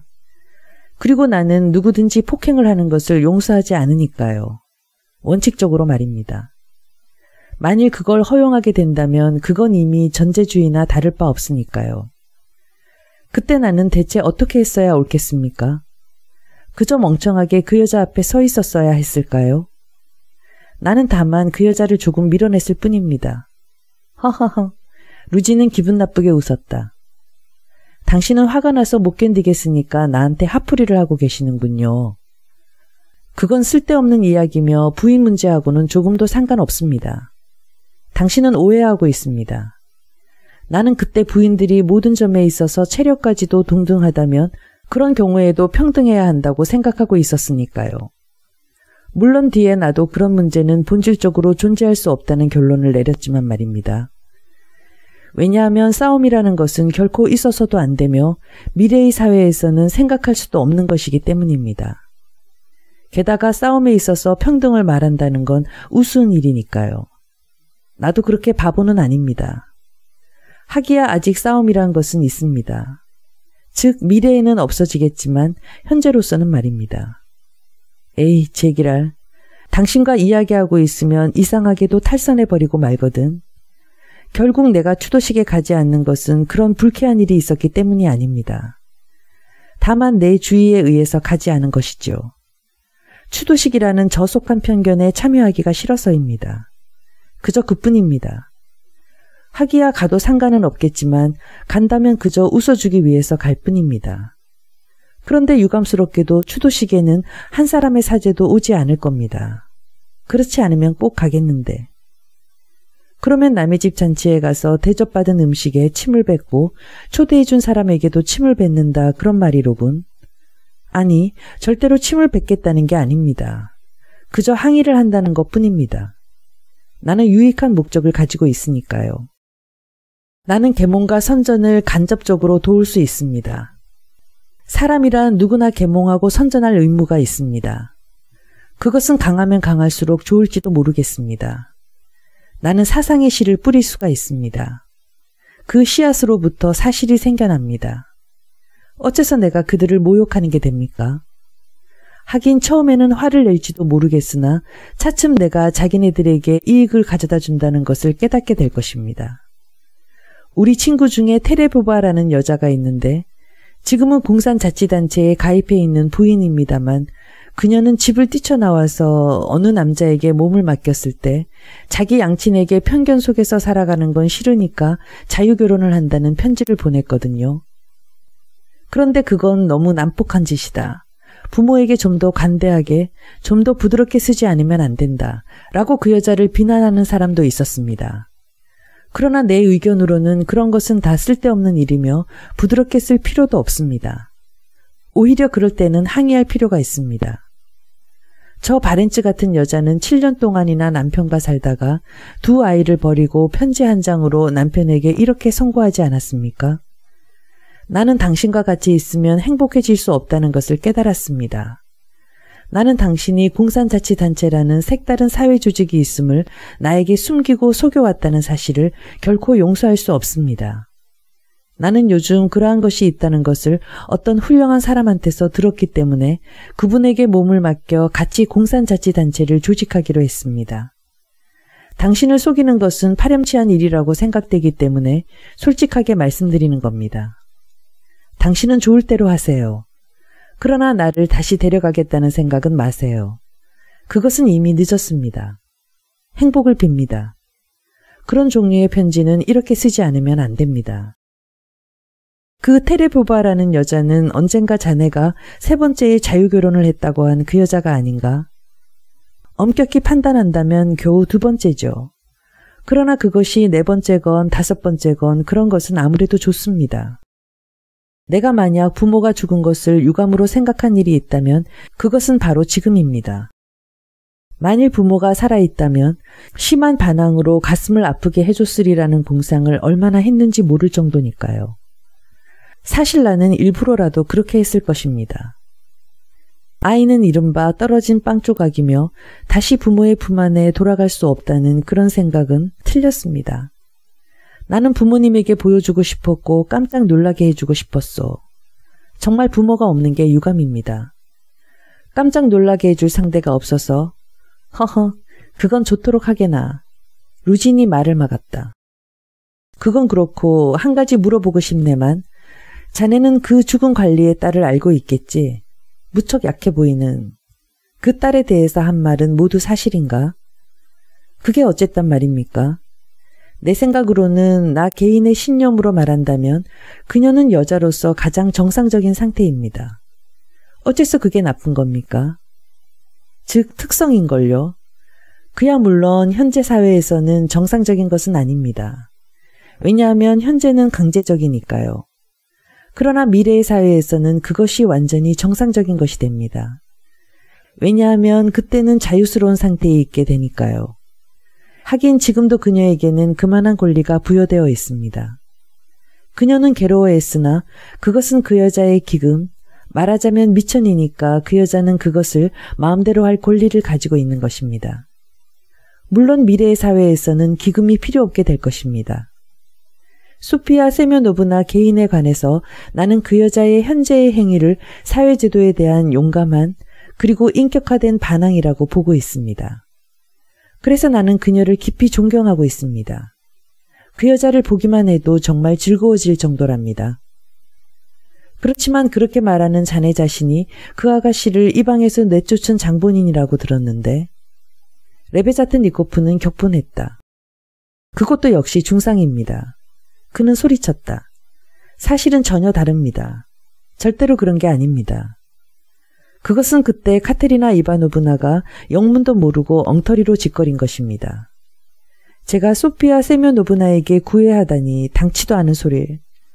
나는 그저 사심 없이 그녀에게 반항심을 일깨워주기 위해 노력하고 그녀의 정신적인 발전을 꾀했을 뿐입니다.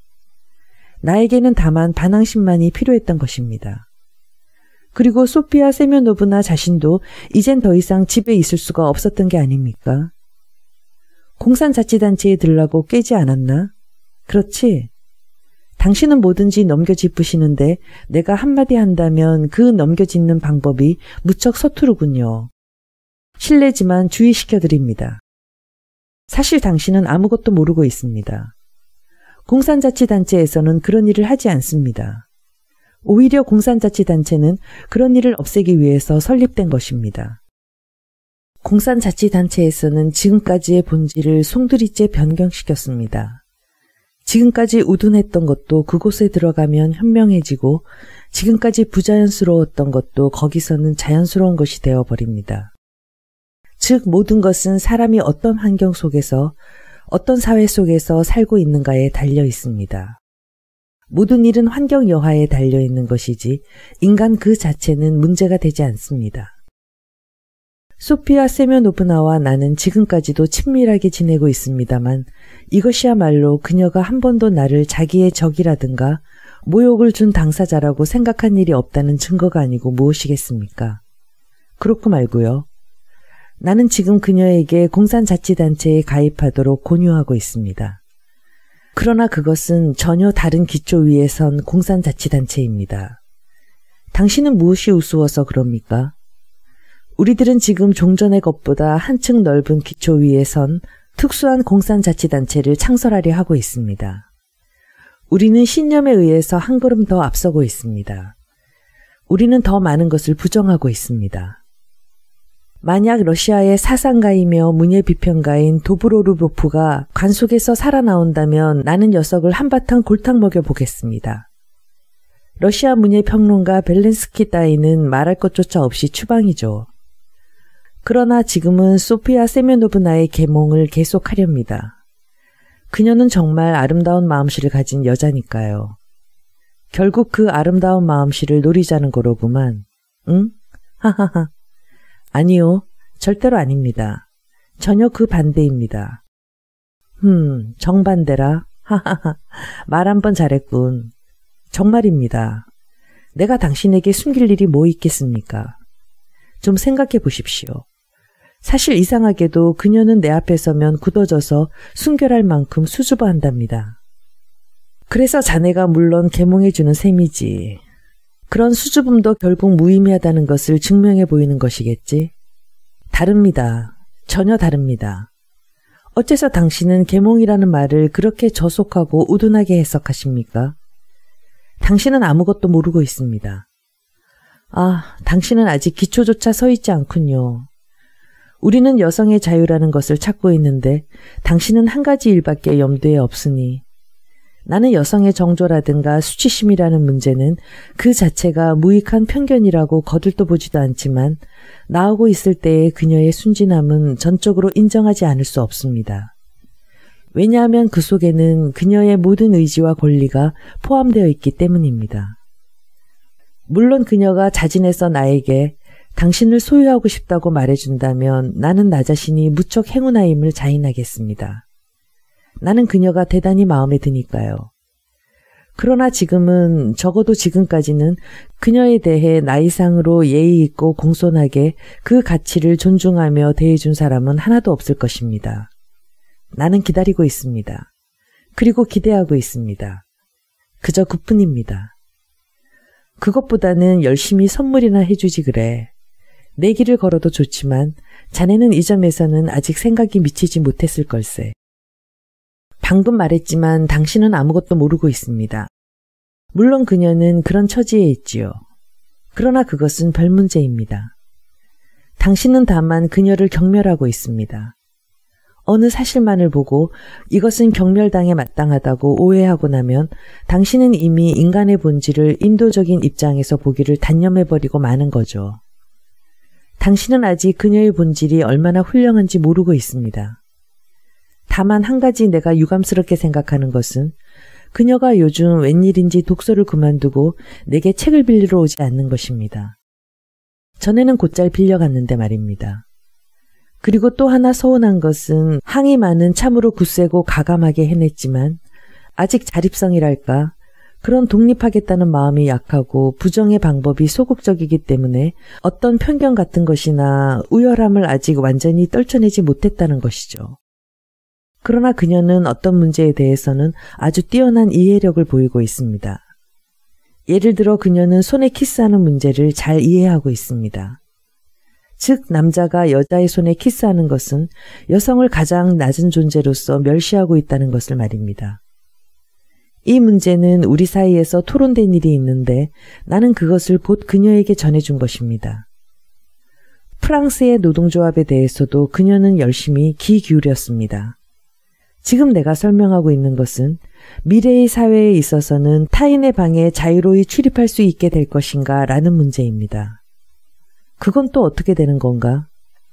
요즘 우리들이 토론한 것은 즉 공산자치단체의 단원은 남녀를 불문하고 다른 단원의 방에 언제든지 드나들 수 있는 권리가 있는가 없는가 하는 문제인데 결국 그런 권리가 있다는 결론을 얻었습니다. 그럼 만일 그때 남자나 여자가 어떤 피치 못할 욕구를 충족시키고 있는 그런 순간이라면 어떻게 되나? 허허. 레베자트니코프는 정색을 하면서 벌컥 화를 내고 말았다. 당신은 언제나 그런 말만 그 저주받을 욕구라는 것만 말하고 있군요. 그는 증오에 찬 목소리로 외쳤다. 쳇, 내가 언젠가 당신에게 시스템을 설명하면서 그만 이 저주받을 욕구라는 말을 입 밖에 낸 것을 얼마나 후회하고 있는지 모릅니다. 빌어먹을 것 같으니. 이런 것은 당신 같은 사람에게는 장애가 되는 돌입니다. 무엇보다 나쁜 것은 아직 명확히 알기도 전에 놀려대는 것입니다. 더구나 자기네들이 옳다고 생각하고 큰 소리까지 치거든요. 나는 이러한 문제를 풋내기에게 설명할 때는 그 사람이 충분히 발달해서 방향이 결정된 뒤에 취급하지 않으면 안 된다고 여러 번 주장해 왔는데. 채, 자, 생각해 보십시오. 시궁창 속에서도 이렇게 부끄럽고 경멸할 만한 것을 발견하고 있습니까? 나는 우선 어떠한 시궁창도 깨끗하게 치울 용의가 있습니다. 그것은 자기 희생도 아무것도 아닙니다. 그저 단순한 일입니다. 사회를 위한 유익하고도 고상한 활동에 지나지 않습니다. 그것은 다른 어떤 활동보다도 뒤지지 않고 오히려 라파엘이나 푸시킨의 활동보다 훨씬 좋은 것입니다. 왜냐하면 이것이 보다 더 유익하니까요. 보다 고상하다. 하기야 보다 고상한 일이기도 하겠지. 하하하. 보다 고상하다는 건 뭡니까? 인간의 활동을 정의하는 뜻에서 그런 표현은 나로서는 알 수 없습니다. 보다 고상하다라든가 보다 관대하다라는 말은 모두 다 무의미하고 우열한 것이며 편견에 찬 말입니다. 나는 그러한 말을 부정합니다. 인간에게 유익한 것은 모두 고상한 것입니다. 나는 유익하다는 말밖에 모릅니다. 웃으시려거든 얼마든지 웃으십시오. 그러나 이건 틀림없는 사실입니다. 루지는 크게 웃어댔다. 그는 이미 계산을 끝내고 돈을 집어넣은 뒤였다. 그러나 그 중에서 얼마만큼은 웬일인지 그냥 테이블 위에 남겨두고 있었다. 이 시궁창로는 진부하기 이를 데 없는 문제임에도 불구하고 이미 루진과 그의 젊은 친구 사이에 오해와 불화의 원인이 되어 있었다. 그리고 무엇보다도 우스운 것은 레베자튼 니코프가 정말 화를 낸 것이었다. 루지는 언제나 그런 식으로 화풀이를 했었으나 지금의 그는 또 유별나게 레베자트니코프를 놀려주고 싶은 심정에 사로잡혀 있었던 것이다. 당신은 틀림없이 어제 일이 실패했기 때문에 그렇게 화를 내고 시비를 거는 겁니다. 레베자트니코프는 드디어 벌컥 화를 내면서 이렇게 말했다.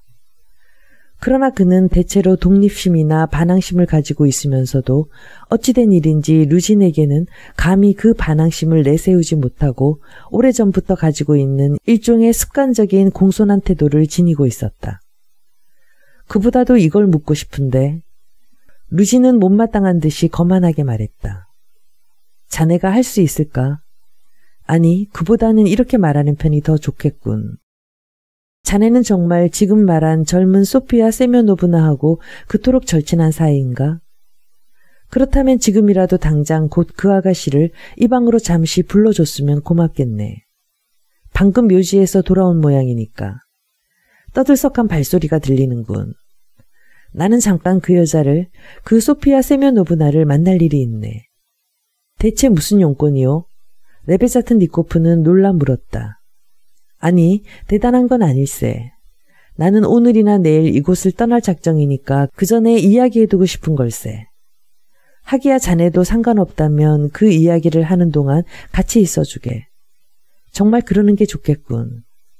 그렇지 않으면 자네가 어떻게 생각하는지 모를 일이니. 나는 결코 아무렇게도 생각지 않습니다. 그저 물어봤을 뿐입니다. 만약 용건이 있으시다면 그녀를 부르는 것쯤은 문제 없습니다. 그럼 곧 갔다 오지요. 그러나 안심하십시오. 절대로 당신을 방해하지는 않을 테니까요. 정말 5분도 채 못 되어 레베자트 니코프는 소냐를 데리고 돌아왔다. 소냐는 언제나와 마찬가지로 머뭇거리며 놀란 듯한 얼굴로 들어왔다. 그녀는 이런 경우 언제나 처음 만나는 사람을 몹시 두려워했다.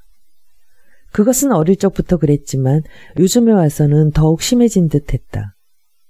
루지는 상냥하고 공손하게 그러나 조금은 들뜬 듯한 그런 흉엄을 없는 태도로 맞이했다. 루진으로 본다면 이러한 태도는 자기와 같은 명예 있고 무게를 지닌 인간이 그녀처럼 젊고 어떤 의미에서 흥미있는 여자에게 대하는 태도로서는 예의범절에 알맞은 것이기도 했다. 그는 속히 그녀의 용기를 북돋워 주려고 애쓰면서 테이블 맞은편에 앉게 했다. 그녀는 앉아서 주위를 둘러보았다. 레베자트니코프에게 테이블 위에 놓여 있는 돈에 그리고 또 루진에게로 눈길을 보냈다. 그러자 그녀는 못 박힌 듯이 그에게서 눈을 떼지 않았다. 레베자트니코프는 문 쪽으로 가려고 했다. 루진은 일어나서 손짓으로 소냐에게 그냥 앉아 있으라고 하고는 문간에서 레베자트니코프를 붙잡았다. 라스콜리 니코프는 있던가? 벌써 왔던가? 그는 속삭이듯 말했다. 라스콜리 니코프요? 있었습니다. 왜 그러십니까? 네, 거기 있었습니다. 방금 들어오는 걸 봤습니다. 그런데 왜 그러시죠? 그럼 부디 이 자리에 같이 있어 주게나. 내가 이 아가씨와 단둘이 남지 않도록. 아무것도 아닌 일이지만 무슨 오해를 받을지도 모르고 또 그쪽에서 라스콜리니코프가 소문을 퍼뜨리는 것이 싫단 말일세. 무슨 말인지 알겠나? 아, 알겠습니다. 알겠습니다. 레베자트 니코프는 문득 깨달았다. 그렇습니다. 당신에게는 그럴 필요가 있습니다. 그러나 나 개인의 생각으로는 지금 당신이 걱정하고 있는 것은 지나친 듯 합니다. 그러나 역시 할 수 없는 일이겠죠. 좋습니다. 나는 여기 남아 있겠습니다. 여기 창가에 서서 방해가 안 되도록 말입니다. 내 생각으로는 당신에게는 그럴 필요가 있습니다. 루지는 소파로 돌아와 소냐의 맞은편에 앉아서 뚫어지게 그녀를 바라보더니 갑자기 엄숙한 얼굴을 했다. 그 표정은 아가씨 절대로 쓸데없는 생각은 하지 마 하는 것 같았다. 소냐는 어찌할 바를 몰랐다. 소피아 세면오브나 우선 당신이 대신 어머니께 사과드려 주십시오. 틀림없이 그렇죠. 카테리나 이바노브나가 당신에겐 어머님이 되시죠. 루지는 엄숙하면서도 상냥한 말투로 입을 열었다. 그것으로 보면 그가 품고 있는 생각이 지극히 친절한 것임을 알 수 있었다. 네, 그렇습니다. 당신이 말씀하시는 대로입니다. 어머니가 되시죠. 소냐는 재빨리 그러나 머뭇거리는 말투로 대답했다. 그러나 실은 오늘 내가 부득이한 사정으로 추도식에 참석하지 못하게 되었다고 잘 말씀드려 주십시오. 모처럼 어머님이 초대해 주셨지만 나는 대개 다가회에, 아니, 추도회에 갈 수 없게 되었다고 말이요. 그러죠. 그렇게 말씀드리죠. 지금 곧. 소냐는 급히 의자에서 일어났다. 아니, 그것만이 아닙니다. 루지는 그녀가 소박하고 예의에 익숙하지 않은 것을 보고 웃으면서 그녀의 말을 막았다. 당신은 나를 잘 모르고 있군요. 소피아 세면요브나. 내가 이런 하잘것없는 개인적인 일로 당신을 이렇게 수고스럽게 오라고 한 줄 아신다면 곤란합니다. 내 용건은 다른 데 있으니까요. 소냐는 급히 자리에 앉았다. 테이블 위에 그대로 놓여 있는 회색과 붉은색 지폐가 눈에서 아른거렸으나 그녀는 곧 시선을 돌려 루진을 쳐다보았다. 다른 사람의 돈에 눈을 판다는 것이 갑자기 그녀에게는, 특히 그녀에게는 무례한 일로 느껴졌던 것이다. 그녀는 루진이 왼손에 들고 있는 금태 안경과 그 가운데 손가락에 끼어져 있는 크고 육중한 누런 보석이 박힌 훌륭한 반지에 눈길을 멈추려고 했으나 급히 그곳에서도 시선을 거두어 버렸기 때문에 어찌할 바를 몰라 다시 루진의 눈을 똑바로 바라보았다. 그는 아까보다 더욱 엄숙한 태도로 잠깐 입을 다물었다가 말을 계속했다. 나는 어제 지나가는 길에 불행한 카테리나 이바노브나와 두어 마디 주고받았습니다만 그곳으로도 충분히 그분께서 자연스럽지 못한 상태에 계시다는 걸 알게 되었답니다. 이런 표현으로 말할 수 있다면 말입니다. 그렇습니다. 자연스럽지 못합니다. 재빨리 소냐가 맞장구를 쳤다. 더 간단히, 더 알기 쉽게 말하면 병에 걸리셨더군요. 네, 간단하고 알기 쉽게 말해서 그래요. 병에 걸리셨죠. 그렇습니다. 그래서 나는 그분의 비할 데 없는 불행한 운명을 예감하고 인도적인 감정에서 말하자면 동정에서 무엇이든 좀 도움이 되어 드리고 싶은데요. 보아하니 그 불행한 가족은 지금 당신 하나만을 의지하고 있는 것 같더군요. 여쭤보겠습니다만 소냐는 갑자기 일어났다. 어제 당신은 연금을 받게 될지도 모른다고 어머니에게 말씀하신 일이 있으신가요? 왜냐하면 어머니는 벌써 어제부터 연금에 대해서 당신께 수고를 끼치고 있다는 말씀을 제게 하셨기 때문이에요. 그건 정말인가요? 원 무슨 당치도 않은 말씀을. 그렇기는커녕 어떤 의미에서는 터무니없는 이야기랍니다. 내가 재직 중에 죽은 공무원의 미망인에게 일시적인 부조금이 지급된다는 걸 말씀드렸을 뿐입니다. 그나마도 누가 추천이라도 했을 경우에 한한다고 말씀드린 것 뿐입니다. 그런데 돌아가신 아버님은 연한을 다 채우지 않았을 뿐더러 최근에는 출근도 하지 않은 것 같더군요. 한마디로 말해서 희망이 있다 하더라도 그건 아주 희박할 뿐 아니라 실제로 이러한 경우에는 부조금을 받을 권리가 없습니다. 그런데 그분은 연금까지 생각하고 계시니 허허허 참 빈틈없는 부인입니다. 네, 연금에 대한 건 그것은 어머니가 믿기를 잘하는 마음씨 고운 사람이기 때문이에요.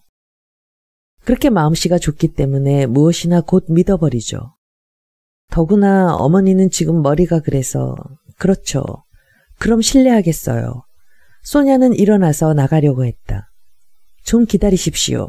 이야기가 아직 끝나지 않았으니까요. 네, 아직 끝나지 않았습니까? 소냐가 중얼거렸다. 자, 어서 앉으십시오. 소냐는 몹시 당황하여 세 번째로 다시 앉았다. 불쌍한 아이들을 데리고 있는 당신 어머니의 모습을 보고 나는 지금도 말씀드린 바와 같이 내 힘이 자라는 대로 좀 도와드리고 싶습니다. 내 힘이 닿는 데까지 말입니다. 예를 들면 그분을 위하여 의연금을 모금한다든가 또는 복권 판매 같은 것을 주최한다든가 이러한 것을 해볼까 합니다. 흔히 있는 경우에는 친한 사람이나 남이라도 다른 사람을 도와주기 좋아하는 사람들이라면 생각할 수 있는 일입니다. 즉, 내가 말하고 싶었던 것은 이것입니다. 그런 건 할 수 있으리라고 생각합니다만. 네, 참 좋은 생각이에요. 하느님이 반드시 당신을 소냐는 루진을 바라보며 말꼬리를 흐렸다. 할 수 있습니다. 그러나 그것은 뒤에 아니 오늘이라도 마음만 먹으면 할 수 있을 테니까 밤에 다시 만나 상의해서 기금을 만들기로 합시다. 7시쯤 이리로 와 주십시오. 아마 레베자트 니코프 씨도 협력해 주실 겁니다. 그러나 미리 꼭 한 가지 말씀드려야 할 일이 있습니다. 실은 당신을 여기까지 와달라고 한 것도 그 때문입니다. 소피아 세면노브나 다름이 아니라 내 생각으로는 돈을 카테리나 이바노브나에게 줘서는 안 된다는 것입니다. 그건 위험합니다. 그 증거로는 오늘의 그 추도식입니다. 내일이면 당장 먹어야 할 빵 조각도 없는 형편에 또 신발이라든가 그 밖에 모든 것이 옹색하면서도 오늘은 자마이카의 럼주라든가 마데이라의 붉은 포도주라든가 그 밖에 커피까지 사드리고 있지 않습니까? 나는 지나가는 일에 잠깐 보았습니다만. 그런데 내일은 또 빵 한 조각까지도 당신에게 의지하게 되겠지요. 너무나 바보 같은 일이 아닙니까? 그러니 그 의연금에 대해서는 어머니께 알리지 말고 당신 혼자만 알고 있는 것이 좋으리라고 생각합니다. 잘못된 생각일까요? 저는 잘 모르겠어요. 그녀가 그런 일을 하는 것은 오늘이 처음이라서 평생에 한 번밖에 없는 일이에요. 그녀는 그저 공양을 하고 싶고 추도식을 하고 싶다는 일념에서 하신 일입니다. 그러나 그녀는 아주 똑똑한 여자예요. 아무튼 지금 말씀하신 것은 좋도록 해주세요. 저는 진정으로, 아니, 온 가족들도 모두 하느님께서 당신을, 소냐는 말끝을 맺지 못하고 울음을 터뜨렸다. 그렇답니다. 그럼 그렇게 하시지요. 그런데 이것은 우선 급하신 대로 생활비에 보태 쓰십시오. 부디 당신의 가족을 위해 나의 작은 성이나마 받아주시기 바랍니다.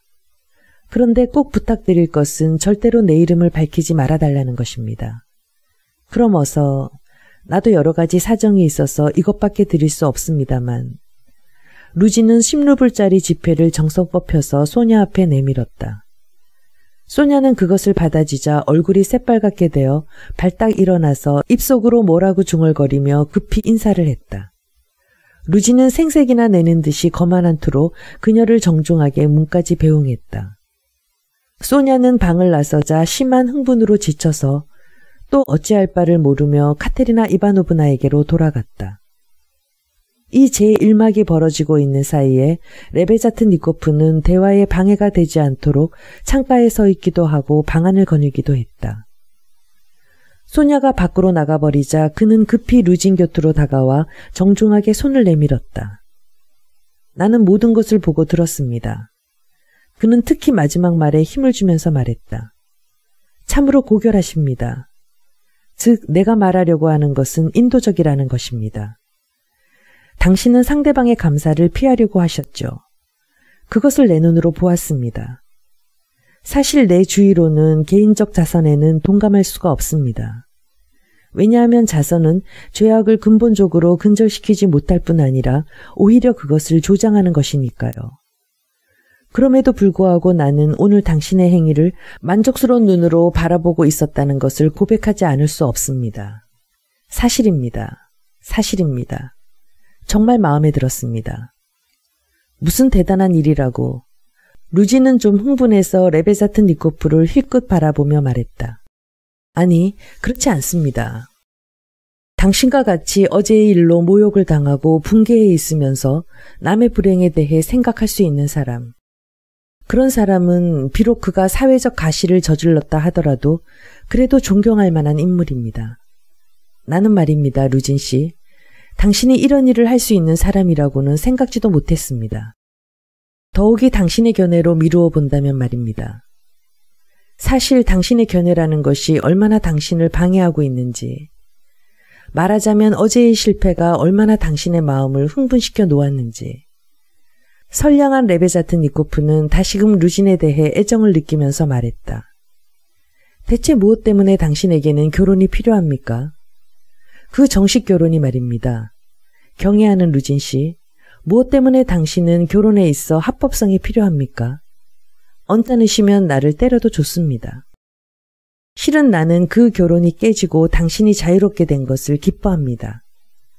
당신이 인류를 위해 아직 완전히 멸망하지 않았다는 것을 기뻐합니다. 기뻐합니다. 그만 본심을 털어놓고 말았습니다. 솔직히 말해서 자네의 이른바 그 자유결혼 따위를 했다가 아내에게 배반당하기라도 하거나 남의 어린아이를 기르는 것이 싫기 때문이지. 그래서 나는 정식 결혼이 필요했던 걸세. 잠자코 있을 수도 없는 일이었으므로 루지는 이렇게 말했다. 그는 몹시 마음에 걸리는 것이 있는 듯 생각에 잠겼다. 어린아이? 당신은 어린아이에 대해 말씀하셨죠? 레베자트 니코프는 진군 나팔 소리를 들은 군마처럼 몸을 떨고 나서 어린아이, 이것이 가장 중대한 사회 문제라는 건 나도 동감합니다. 그러나 그 어린아이에 관한 문제는 별도로 해결되어야 합니다. 어떤 사람들은 어린아이란 가정을 이루는 암시이므로 전혀 이를 부정할 정도니까요. 그러나 어린아이 문제는 나중으로 미루고 우선 아내의 부정에 대해서 논의해 봅시다. 사실 난 이런 문제는 딱 질색입니다. 경기병식, 푸시킨적인 표현은 미래의 사전 속에는 들어가지 않을 것입니다. 대체 부정이란 무엇입니까? 이 무슨 착오입니까? 대체 무엇이 부정입니까? 무엇을 위한 부정입니까? 정말 시시한 일입니다. 그런 것은 자유결혼에서는 없습니다. 부정. 그것은 정식 결혼의 자연적 산물에 지나지 않습니다. 말하자면 정식 결혼의 수정이요 반항입니다. 그런 의미에서 조금도 부끄러울 것은 없습니다. 만약 내가 혹시 정식 결혼을 한다면 나는 오히려 당신이 저주하는 그 부정을 환영하리라고 생각합니다. 그리고 그때 나는 아내에게 이렇게 말하겠습니다. 여보, 나는 여태까지는 당신을 그저 사랑하고만 있었지만 지금부터는 당신을 존경하겠소. 왜냐하면 당신은 나에게 멋지게 반항했기 때문이요. 라고. 당신은 웃고 계시는군요. 그건 당신이 아직 편견에서 벗어나지 못한 증거입니다. 이래봬도 나는 정식 결혼을 하고 아내에게 배반당한 일이 얼마나 불쾌한가를 잘 알고 있습니다. 그러나 그것은 다만 서로를 천대하는 비열한 사실의 비열한 결과에 지나지 않습니다. 자유결혼에서처럼 부정이 공공연하게 되면 그때는 이미 그런 것은 없어지고 생각할 수도 없게 되어 부정이라는 명칭도 없어지게 될 것입니다.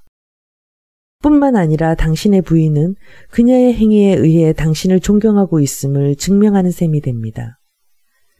부인은 당신이란 사람을 자기 행복을 방해하지 않는 사람, 즉 다른 남자가 생겼다 하더라도 자기에게 복수하지 않는 정신적으로 발달한 사람으로서 존경할 것입니다.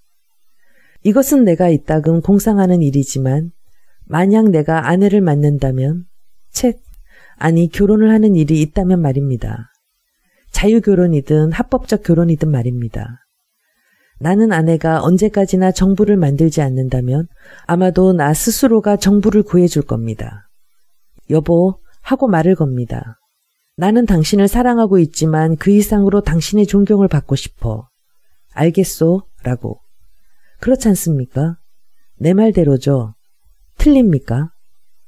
루지는 들으면서 희죽희죽 웃고 있었으나 별로 흥미를 느끼는 것 같지는 않았다. 흥미를 느끼기는커녕 전혀 듣고 있지도 않았던 것이다. 그가 확실히 무슨 다른 일을 생각한다는 것을 레베사트 니코프는 그것을 이때서야 겨우 눈치챘다. 루지는 도리어 무엇인가 마음에 걸리는지 두 손을 비비면서 생각의 골몰에 있었다. 레베사트 니코프는 훗날 이러한 모든 것을 돌이켜 생각하게 되었던 것이다.